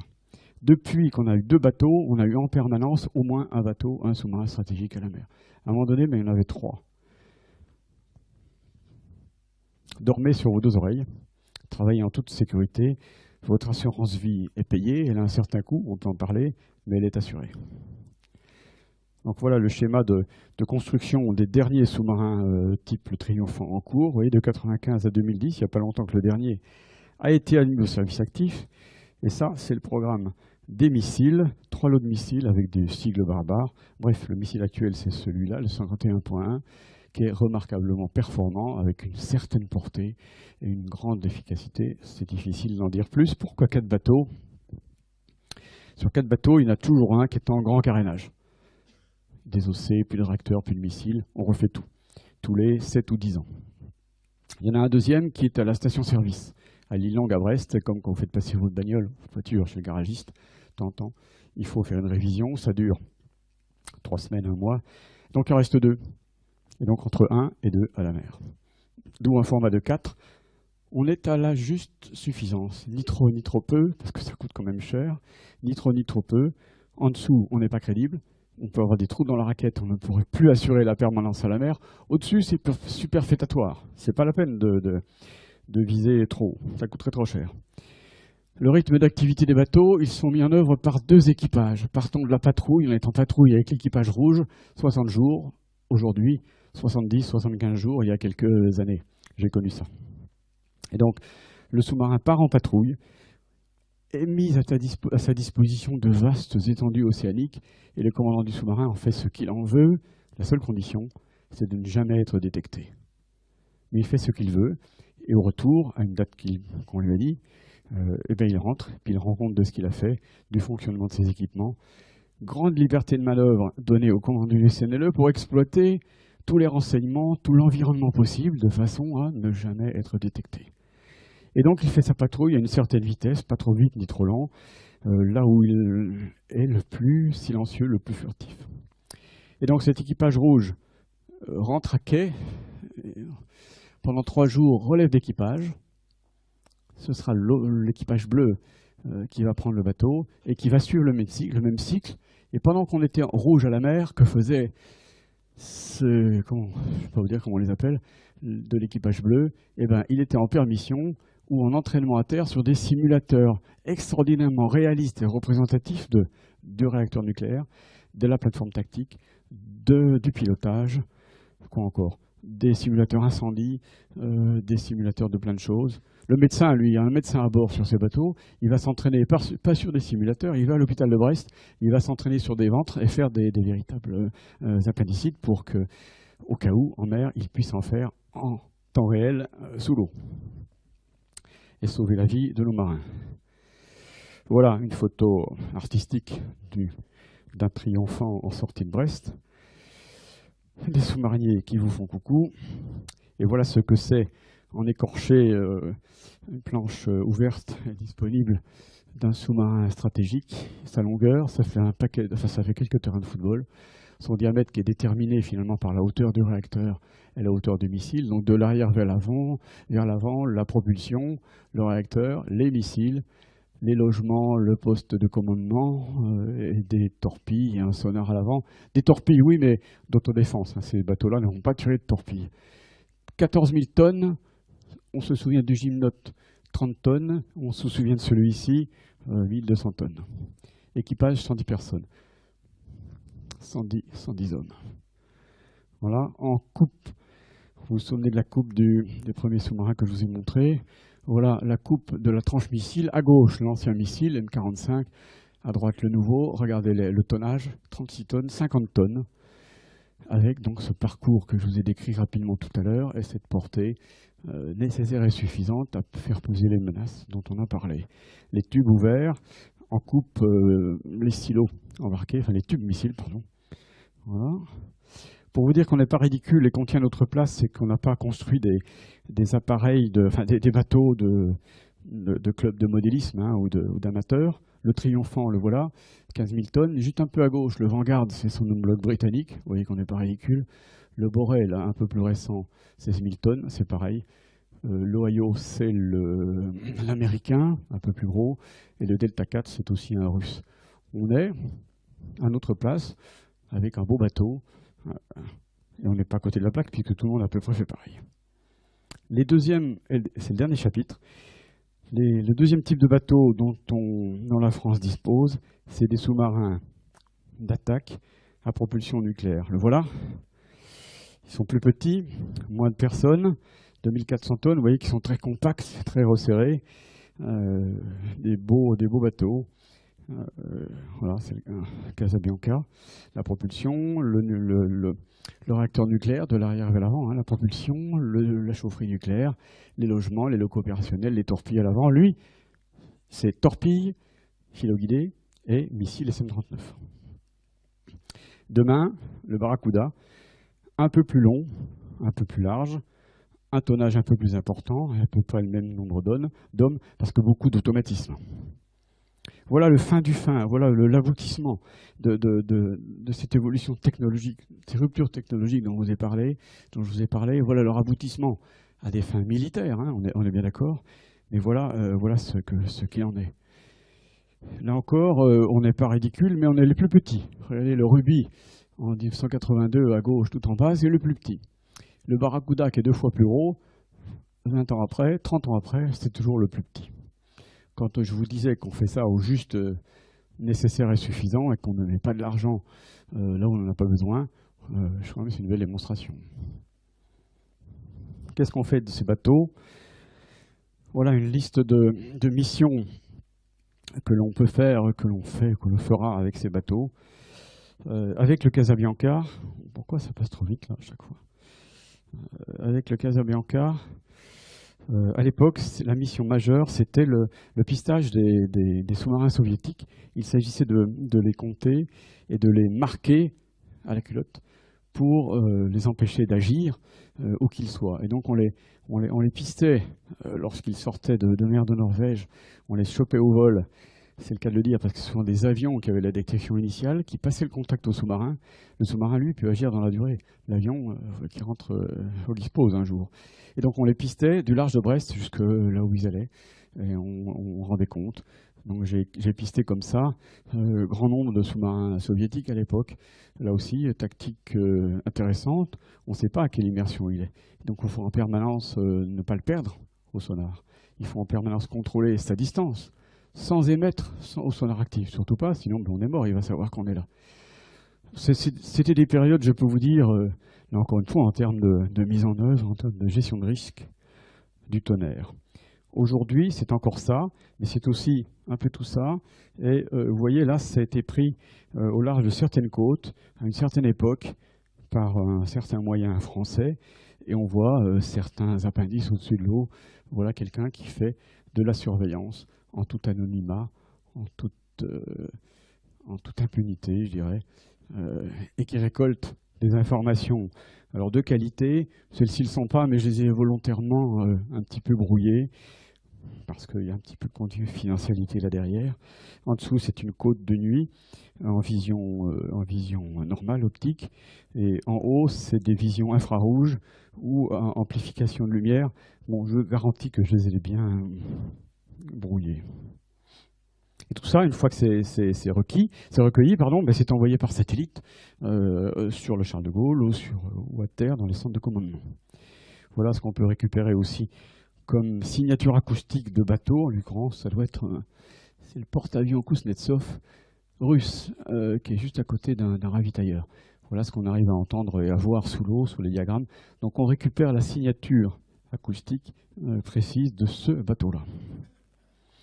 Voilà ce que l'on peut faire aussi, c'est mettre, euh, mettre à l'eau et mettre à terre, si je puis dire, des agents, des plongeurs, des nageurs, euh, des commandos marines. On peut même récupérer, vous voyez, en haut à gauche, là, des, gus qui arrivent en, chute opérationnelle. Pour venir à bord, pof, on les embarque, on plonge, on s'en va, et puis on va les délivrer comme une arme sur une côte adverse pour qu'ils fassent leur travail. Bon, j'en ai déjà un petit peu parlé, le missile anti- anti-navire et le missile euh, de croisière navale contre des objectifs terrestres, on en a déjà parlé tout à l'heure. Et puis j'ai parlé des métiers, euh, à la fois des métiers euh, du marin, je vous ai parlé aussi des métiers de technicien ou d'ingénieur, Pour vous dire aussi que, bon, si vous entrez à l'école navale, l'idée c'est quand même de faire une carrière, d'aller jusqu'au commandement, de faire une carrière longue quand même. Hein. Euh, moi, j'y suis entré en deux. Quoi 19, j'avais 20 ans, donc c'était en 1969. Et j'en suis sorti 35 ans après. J'ai 35 000 heures de plongée, j'ai fait ces, trois commandements, plus le commandement de l'escadrille de sous-marins à Toulon. Donc c'est quand même l'hypothèse d'une carrière longue. Il y a des hypothèses de carrière plus courtes, si vous entrez comme sous-officier ou officier marinier, avec euh, un, horizon de 15-20 ans comme atomicien par exemple, et puis après je vous assure que vous avez, la marine vous aura, vous aura donné un métier, vous aura donné une connaissance technique, vous aura donné une organisation d'esprit, de méthode, de rigueur, ces mots sont un peu galvaudés, qui sont pour l'industrie privée du, non-non, enfin qui sont, qui sont de l'or pour l'industrie privée. Donc vous n'aurez, cest dit, restez dans la marine hein, si vous avez choisi, euh, parce qu'il faut qu'on sache aussi vous, vous garder, vous fidéliser, garder vos compétences. Mais si jamais ça ne vous va pas, ou si jamais il se passe des choses, n'ayez aucune crainte. Vous, avez, vous aurez acquis, vous aurez dans les mains euh, des choses extraordinaires, valorisantes pour l'industrie privée, dans tous les domaines, qui pourraient être un, autre domaine que celui dans lequel vous travaillez euh, dans la marine. Voilà, reconversion, garantie assurée, avec des bons niveaux de, rémunération. Voilà ce que je voulais vous dire euh, cet après-midi, en vous priant de nouveau de m'excuser de mon retard tout à l'heure. Je ne sais pas si j'ai pris trop de temps, pas beaucoup de temps. je suis libre, disponible pour vos questions, le temps que vous voudrez bien m'accorder. Merci beaucoup.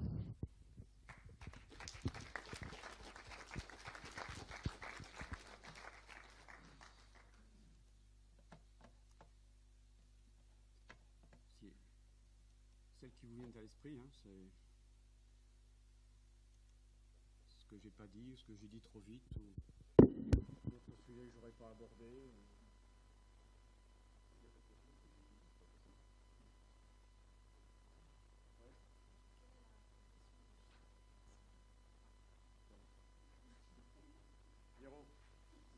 Euh, aujourd'hui.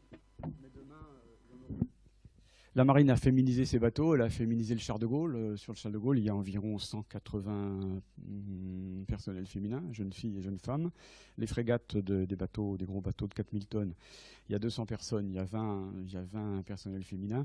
Dans toute spécialité, on trouve des, transmetteurs des, transmetteurs féminins. On trouve aussi des manœuvriers féminins qui, manœuvrent les, les euh, sur la plage avant ou sur la plage arrière. On trouve des détecteurs, on trouve de... Dans toutes les spécialités, il y en a dans l'aéronaval, il y en a sur les bateaux de surface, il n'y en a pas encore ni dans les commandos marines, ni dans les sous-marins. Ben, c'est dommage, hein, parce que vous nous apportez un, peu d'air frais. Vous permettriez aux sous-mariniers de, parler un petit peu mieux, de faire attention à leur, euh, barbe, à se raser un peu plus souvent. Euh, euh, c'est quand même difficile hein, dans un milieu confiné comme ça, vous le comprenez. Mais bon, aujourd'hui, c'est pas possible. C'est trop petit, rien n'est prévu pour. En revanche, demain, vous savez, je vous ai montré le barracuda. Oui, celui-là, il est féminisable, comme on dit. C'est-à-dire qu'on peut, si on le décide, euh, faire des quartiers isolés pour vous, mesdemoiselles et mesdames. On commencera, je pense, par féminiser les gros sous-marins stratégiques et je sais par qui on va commencer. On va y mettre un médecin. Ces bateaux ont un médecin, un anesthésiste et un autre infirmier pour traiter les petits bobos, mais aussi les grosses, opérations, appendicites, etc. Compte tenu de la pénurie de recrutement de médecins euh, en général, je pense qu'on commencera par faire appel à des personnels féminins médecins. Ce sera un officier, elle sera au carré, elle sera la bienvenue. Je ne dis pas qu'il n'y aura pas de perturbation euh, chez tous ces 100, 110 ou, 100 personnes euh, à cause de la présence d'une euh, présence féminine. Quoi. Ça. On y viendra, je vous dire pourquoi. Parce que les Américains, ils sont venus, ils ont du personnel féminin sur leurs sous-marins stratégiques. Les Britanniques, ils sont venus, ils ont des, femmes sous-mariniers. Il y a d'autres marines hein, qui ont des, femmes sous-mariniers. Euh, les marines du Nord, les marines des pays nordiques. J'ai croisé dans, ma carrière euh, des commandants de sous-marins classiques, diesel électriques, féminins, suédois ou norvégiens, je ne sais plus. Sympa, hein Mais bienvenue à bord, hein, si vous voulez, bienvenue à bord.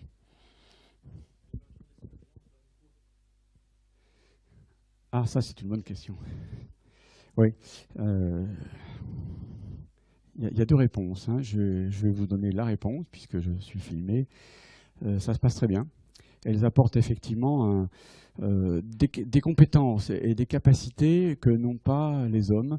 Et vous avez, et ça avait déjà été prouvé en 1914-18, vous savez, les infirmières, elles ont, c'est vrai, une résistance au stress, une résistance aux situations de stress, de combat ou de, ou, de situations incidentelles ou accidentelles à bord, euh, intéressantes à exploiter et à faire passer à toute l'équipe. Et ça, c'est vrai, hein, c'est la vérité. Euh, voilà. Sinon, bon, sinon, euh, oh, quelques chicaillages, je dirais, euh, de bonne guerre entre hommes et femmes sur ces bateaux-là. Voilà. à bord des, sous-marins, chacun a sa spécialité. Chacun, il y a un, des mécaniciens, atomiciens, détecteurs, torpilleurs, transmetteurs, mais tout sous-marinier a subi une formation générale sur le sous-marin. C'est-à-dire chacun sait, qu'il soit torpilleur, mécanicien, chacun sait comment fonctionne globalement le sous-marin quel est le métier de l'autre, quelle est la responsabilité de l'autre, euh, euh, de telle ou telle spécialité. On donne à tout sous-marinier un socle de connaissances communes du sous-marin. Et d'ailleurs, on lui attribue des, certificats d'aptitude de la navigation sous-marine, deux niveaux, un certificat élémentaire, un certificat supérieur. Et quand on a deux glaives, comme ça, c'est qu'on a commandé un bateau. Donc on donne ce, ce, socle de culture sous-marine à tout, euh, à toute spécialité et chacun restant euh, pas poly, monovalent en, tant que mécanicien électricien. Ce n'est pas le cas sur le bâtiment de surface, il n'y a pas de cours de connaissance générale du bâtiment de surface. Il y a un cours de connaissance générale du, sous-marin.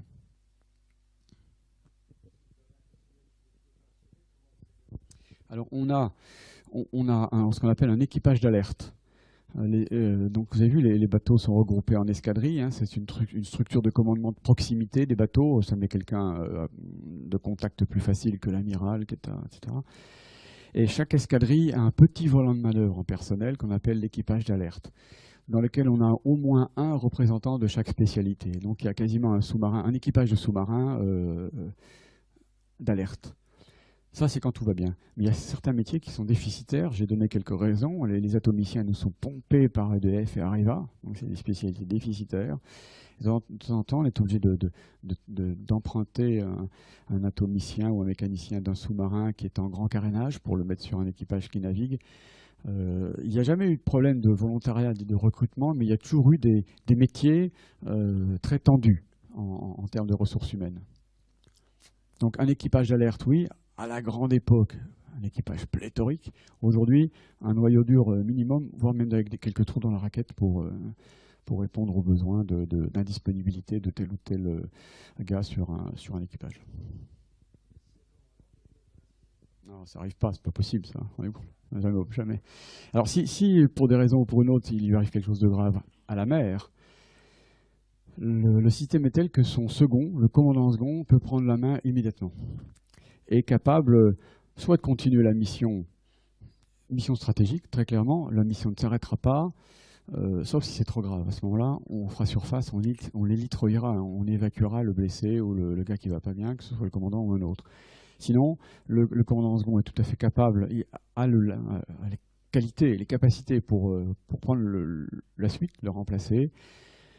Décision sera prise soit de laisser finir la mission, l'exercice ou de le faire, de lui dire de faire rentrer le bateau pour mettre un nouveau commandant. Euh, un commandant. Bon, on mettra, on mettra, je sais qu'on mettra, toutes les, les, escadrilles ont ce qu'on appelle une structure d'entraînement, commandée par un, officier entraînement qui lui-même est un ancien commandant de sous-marin. C'est lui qu'on va mettre tout de suite euh, priorité sur les, aux bateaux qui naviguent. Hein, bon, les structures à terre, on verra après.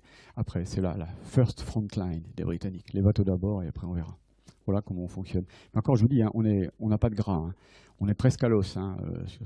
On a dû rendre, on a dû rendre du personnel. Là, dans l'actuelle loi de programmation militaire, la marine va encore euh, perdre, rendre 9000 ou 5400 hommes euh, sur 5 ans.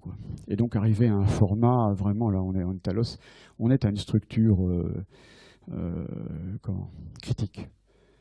Surcritique, ça sert à rien, ça coûte trop cher. Sous-critique, on marche plus et on, fait prendre des risques à des gens euh, auxquels on n'arrive pas à donner euh, le nombre d'heures d'entraînement, le nombre de mères nécessaires pour qu'effectivement ils soient compétents et, et, ne pas, on court pas de risque en les mettant à la barre ou au sonar ou ailleurs. Voilà.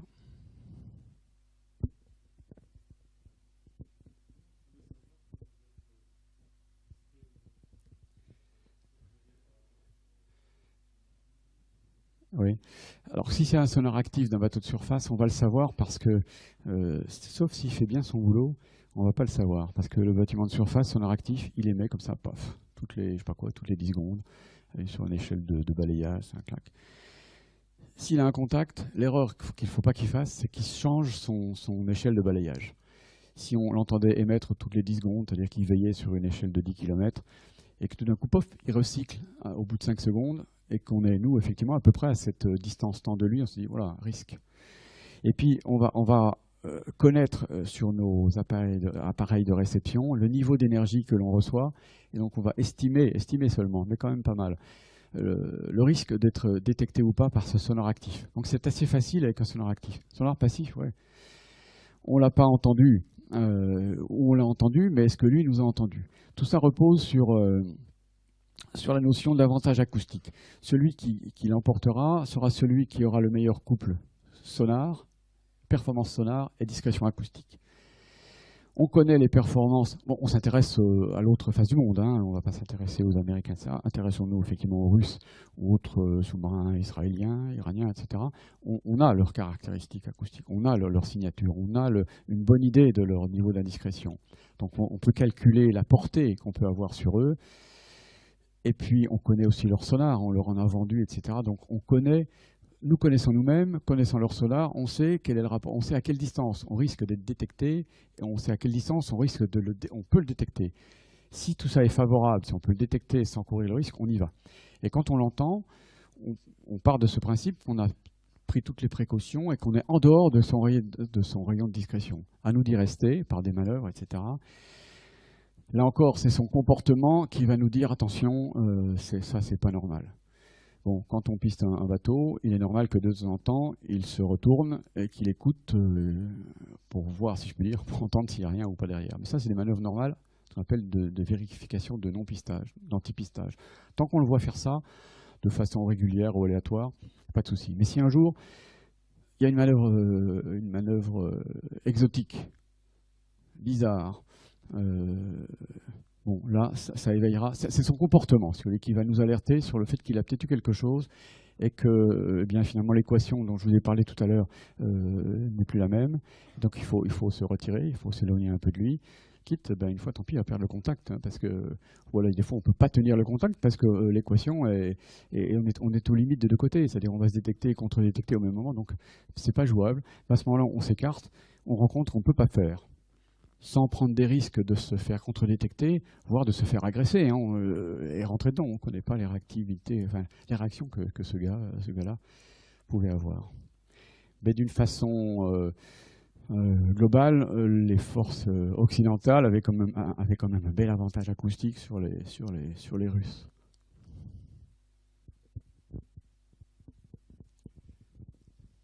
Voilà, c'était un peu de, ah oui, mais là, il n'y a pas de question.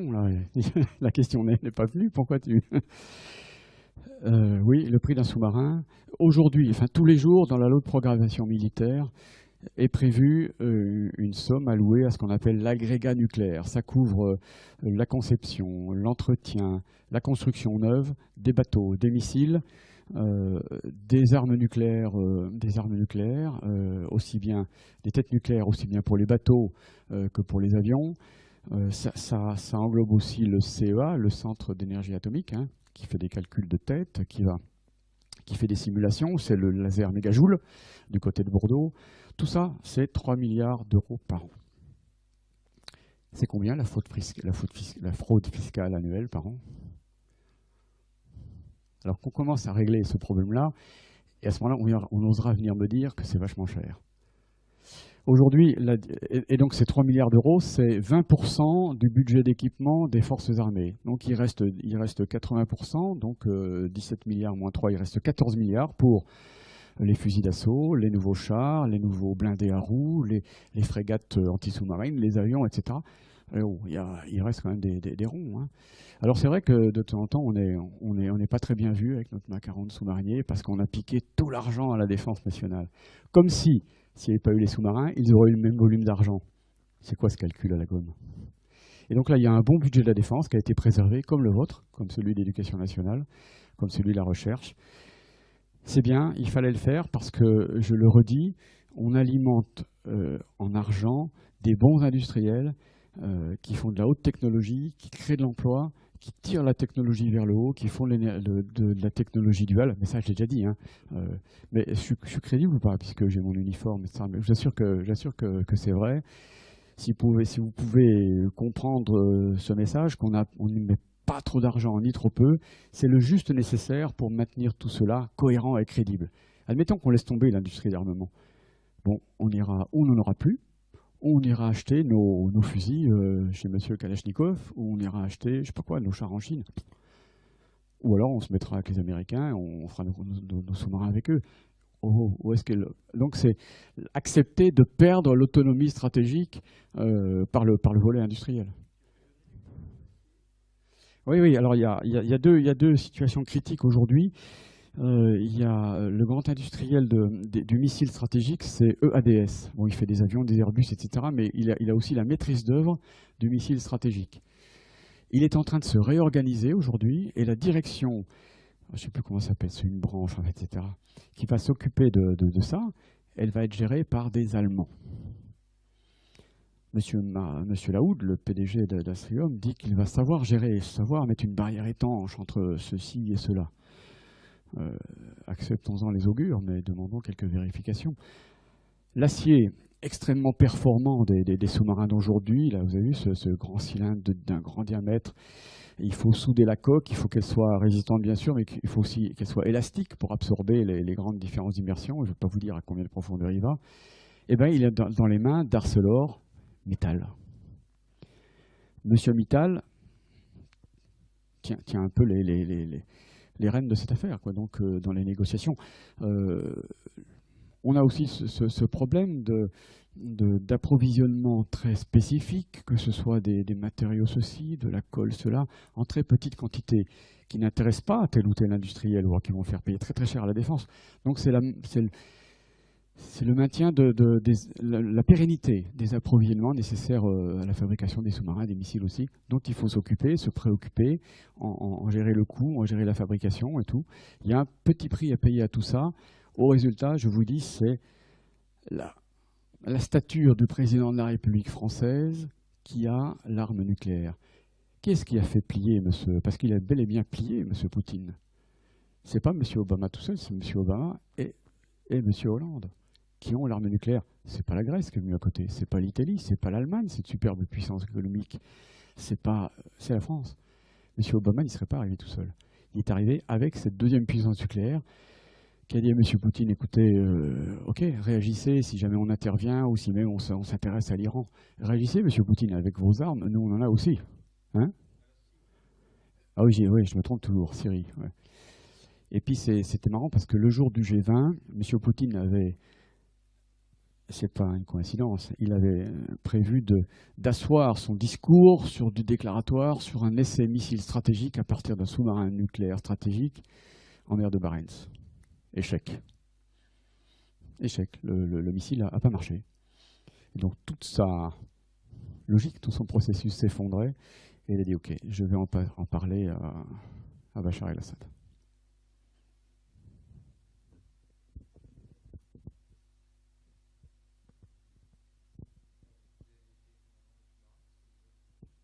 Oui, ah bah aujourd'hui je viens vous voir ça fait un grand plaisir de- d'essayer de, passer mon message. Depuis huit ans, j'ai quitté la marine donc comme, euh, comme amiral et on a tous une, on a tous une deuxième carrière. Comme la plupart de nous, officiers généraux, on a une deuxième carrière et on est euh, sollicité par l'industrie de défense, euh, soit comme salarié ou comme consultant. Je suis consultant au profit d'une filiale d'un groupe, du groupe Safran qui est dans l'aéronautique. hein. C'est les moteurs de, Rafale, c'est le moteur de, c'est le c'est la, comment, la JV avec J, etc., mais qui a aussi une filière euh, qui fait les propulseurs des sous-marins stratégiques. Je travaille pour cette filiale et je les aide à, comprendre finalement les, vers quoi s'oriente la loi de programmation militaire, quelles sont les, les priorités du gouvernement, et inversement, je m'efforce de faire comprendre aux autorités étatiques, militaires et politiques, les conséquences d'une décision d'arrêter ou d'amoindrir ou de retarder tel ou tel programme.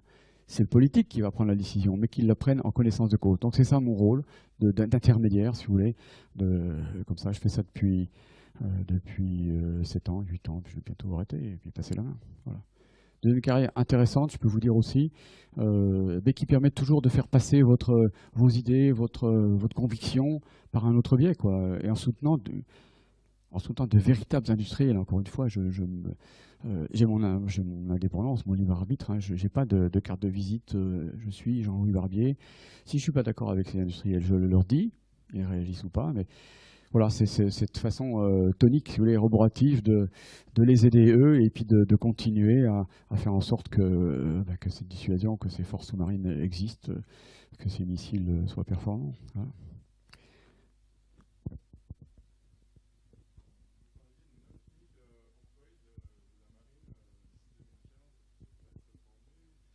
Non, pas, d'ici 2015. euh, d'ici, euh, c'est sur la loi de programmation. Donc entre 2014 et 2019, les forces armées vont perdre, vont perdre 25 000 hommes. La grosse perdante, c'est l'armée de terre. On finit les gros bataillons, il y a, il y une brigade qui va être dissoute. euh. L'armée de terre va, payer le prix de, finalement, de cette loi de programmation, qui est une loi d'équipement, qui va favoriser les équipements, j'en ai parlé, l'industrie d'armement, au détriment des gros bataillons. Donc l'armée de terre va perdre euh, 22 000 hommes et l'ensemble des forces armées, euh, 25, j'ai dit 25, plus 10, 35. Et la marine va payer son tribut à cette déflation d'effectifs sur 5 ans, hein, enfin sur 6 ans. Elle va perdre encore 9 000 hommes.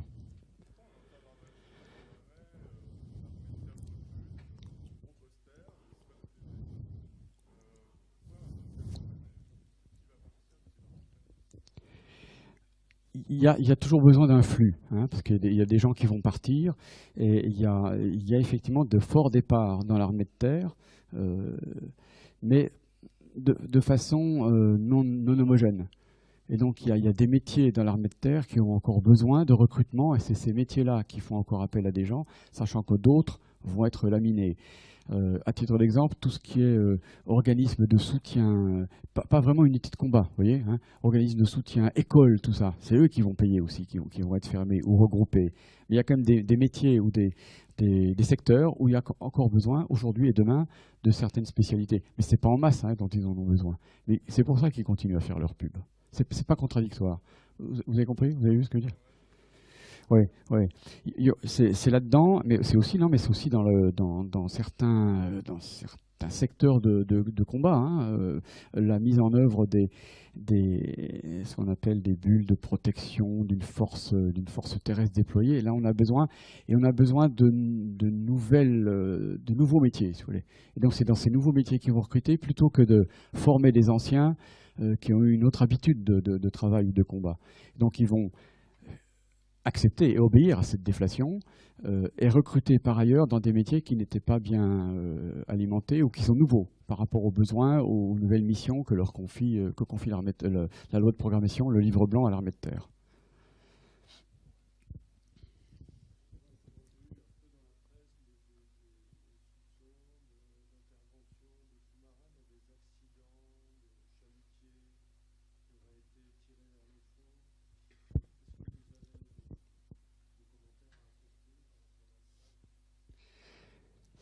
Je vois très bien à quoi vous faites allusion.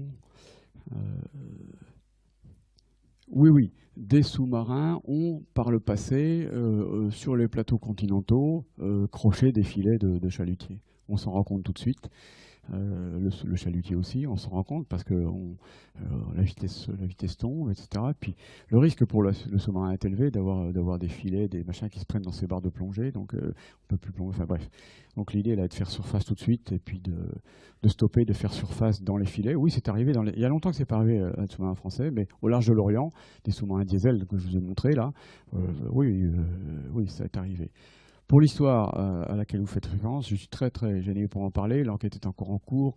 Euh, D'autres activités qui me sont propres font que je ne peux pas en parler non plus.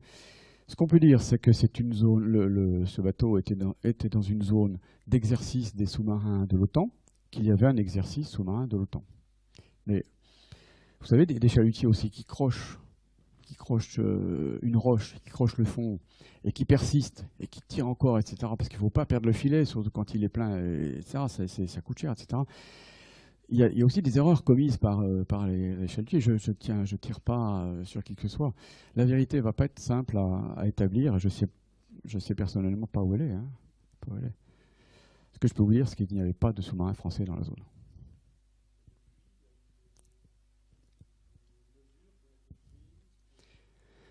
Ni plus ni moins, ni plus ni moins que celle que non, ni plus ni moins que celle qu'on a avant. Il y a des zones d'exercice qui sont qui sont connues de tout le monde. Hein, c'est pas une zone secrète que le pêcheur veut y aller. Très bien. Il y a un exercice autant en même temps. Très bien.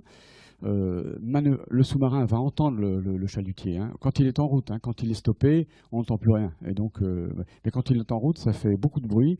On entend son bruit de propulsion, ses hélices, et un peu plus loin derrière, on entend les bruits du filet, du chalut. C'est rigolo à entendre, ça fait des bruits de clochettes. C'est. C'est comment C'est poétique peut-être, mais c'est vachement dangereux. Donc on sait comment faire, euh, on sait les détecter, on sait comment faire pour, manœuvrer, pour les éviter. De temps en temps, il y a longtemps qu'on n'est pas arrivé dedans. Mais il n'y a pas de mesures particulières. hein. Le sous-marin assure sa sécurité nautique vis-à-vis du fond, vis-à-vis des obstacles sous-marins, vis-à-vis de ce qui traîne dans l'eau, vis-à-vis de cela aussi.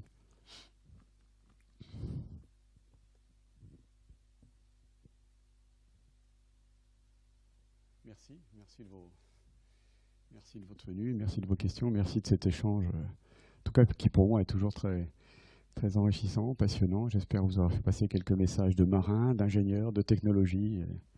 voilà. Parlez-en, propagez le message. Soyez les, soyez les ambassadeurs des forces sous-marines dans le pays de Montbéliard. Merci beaucoup.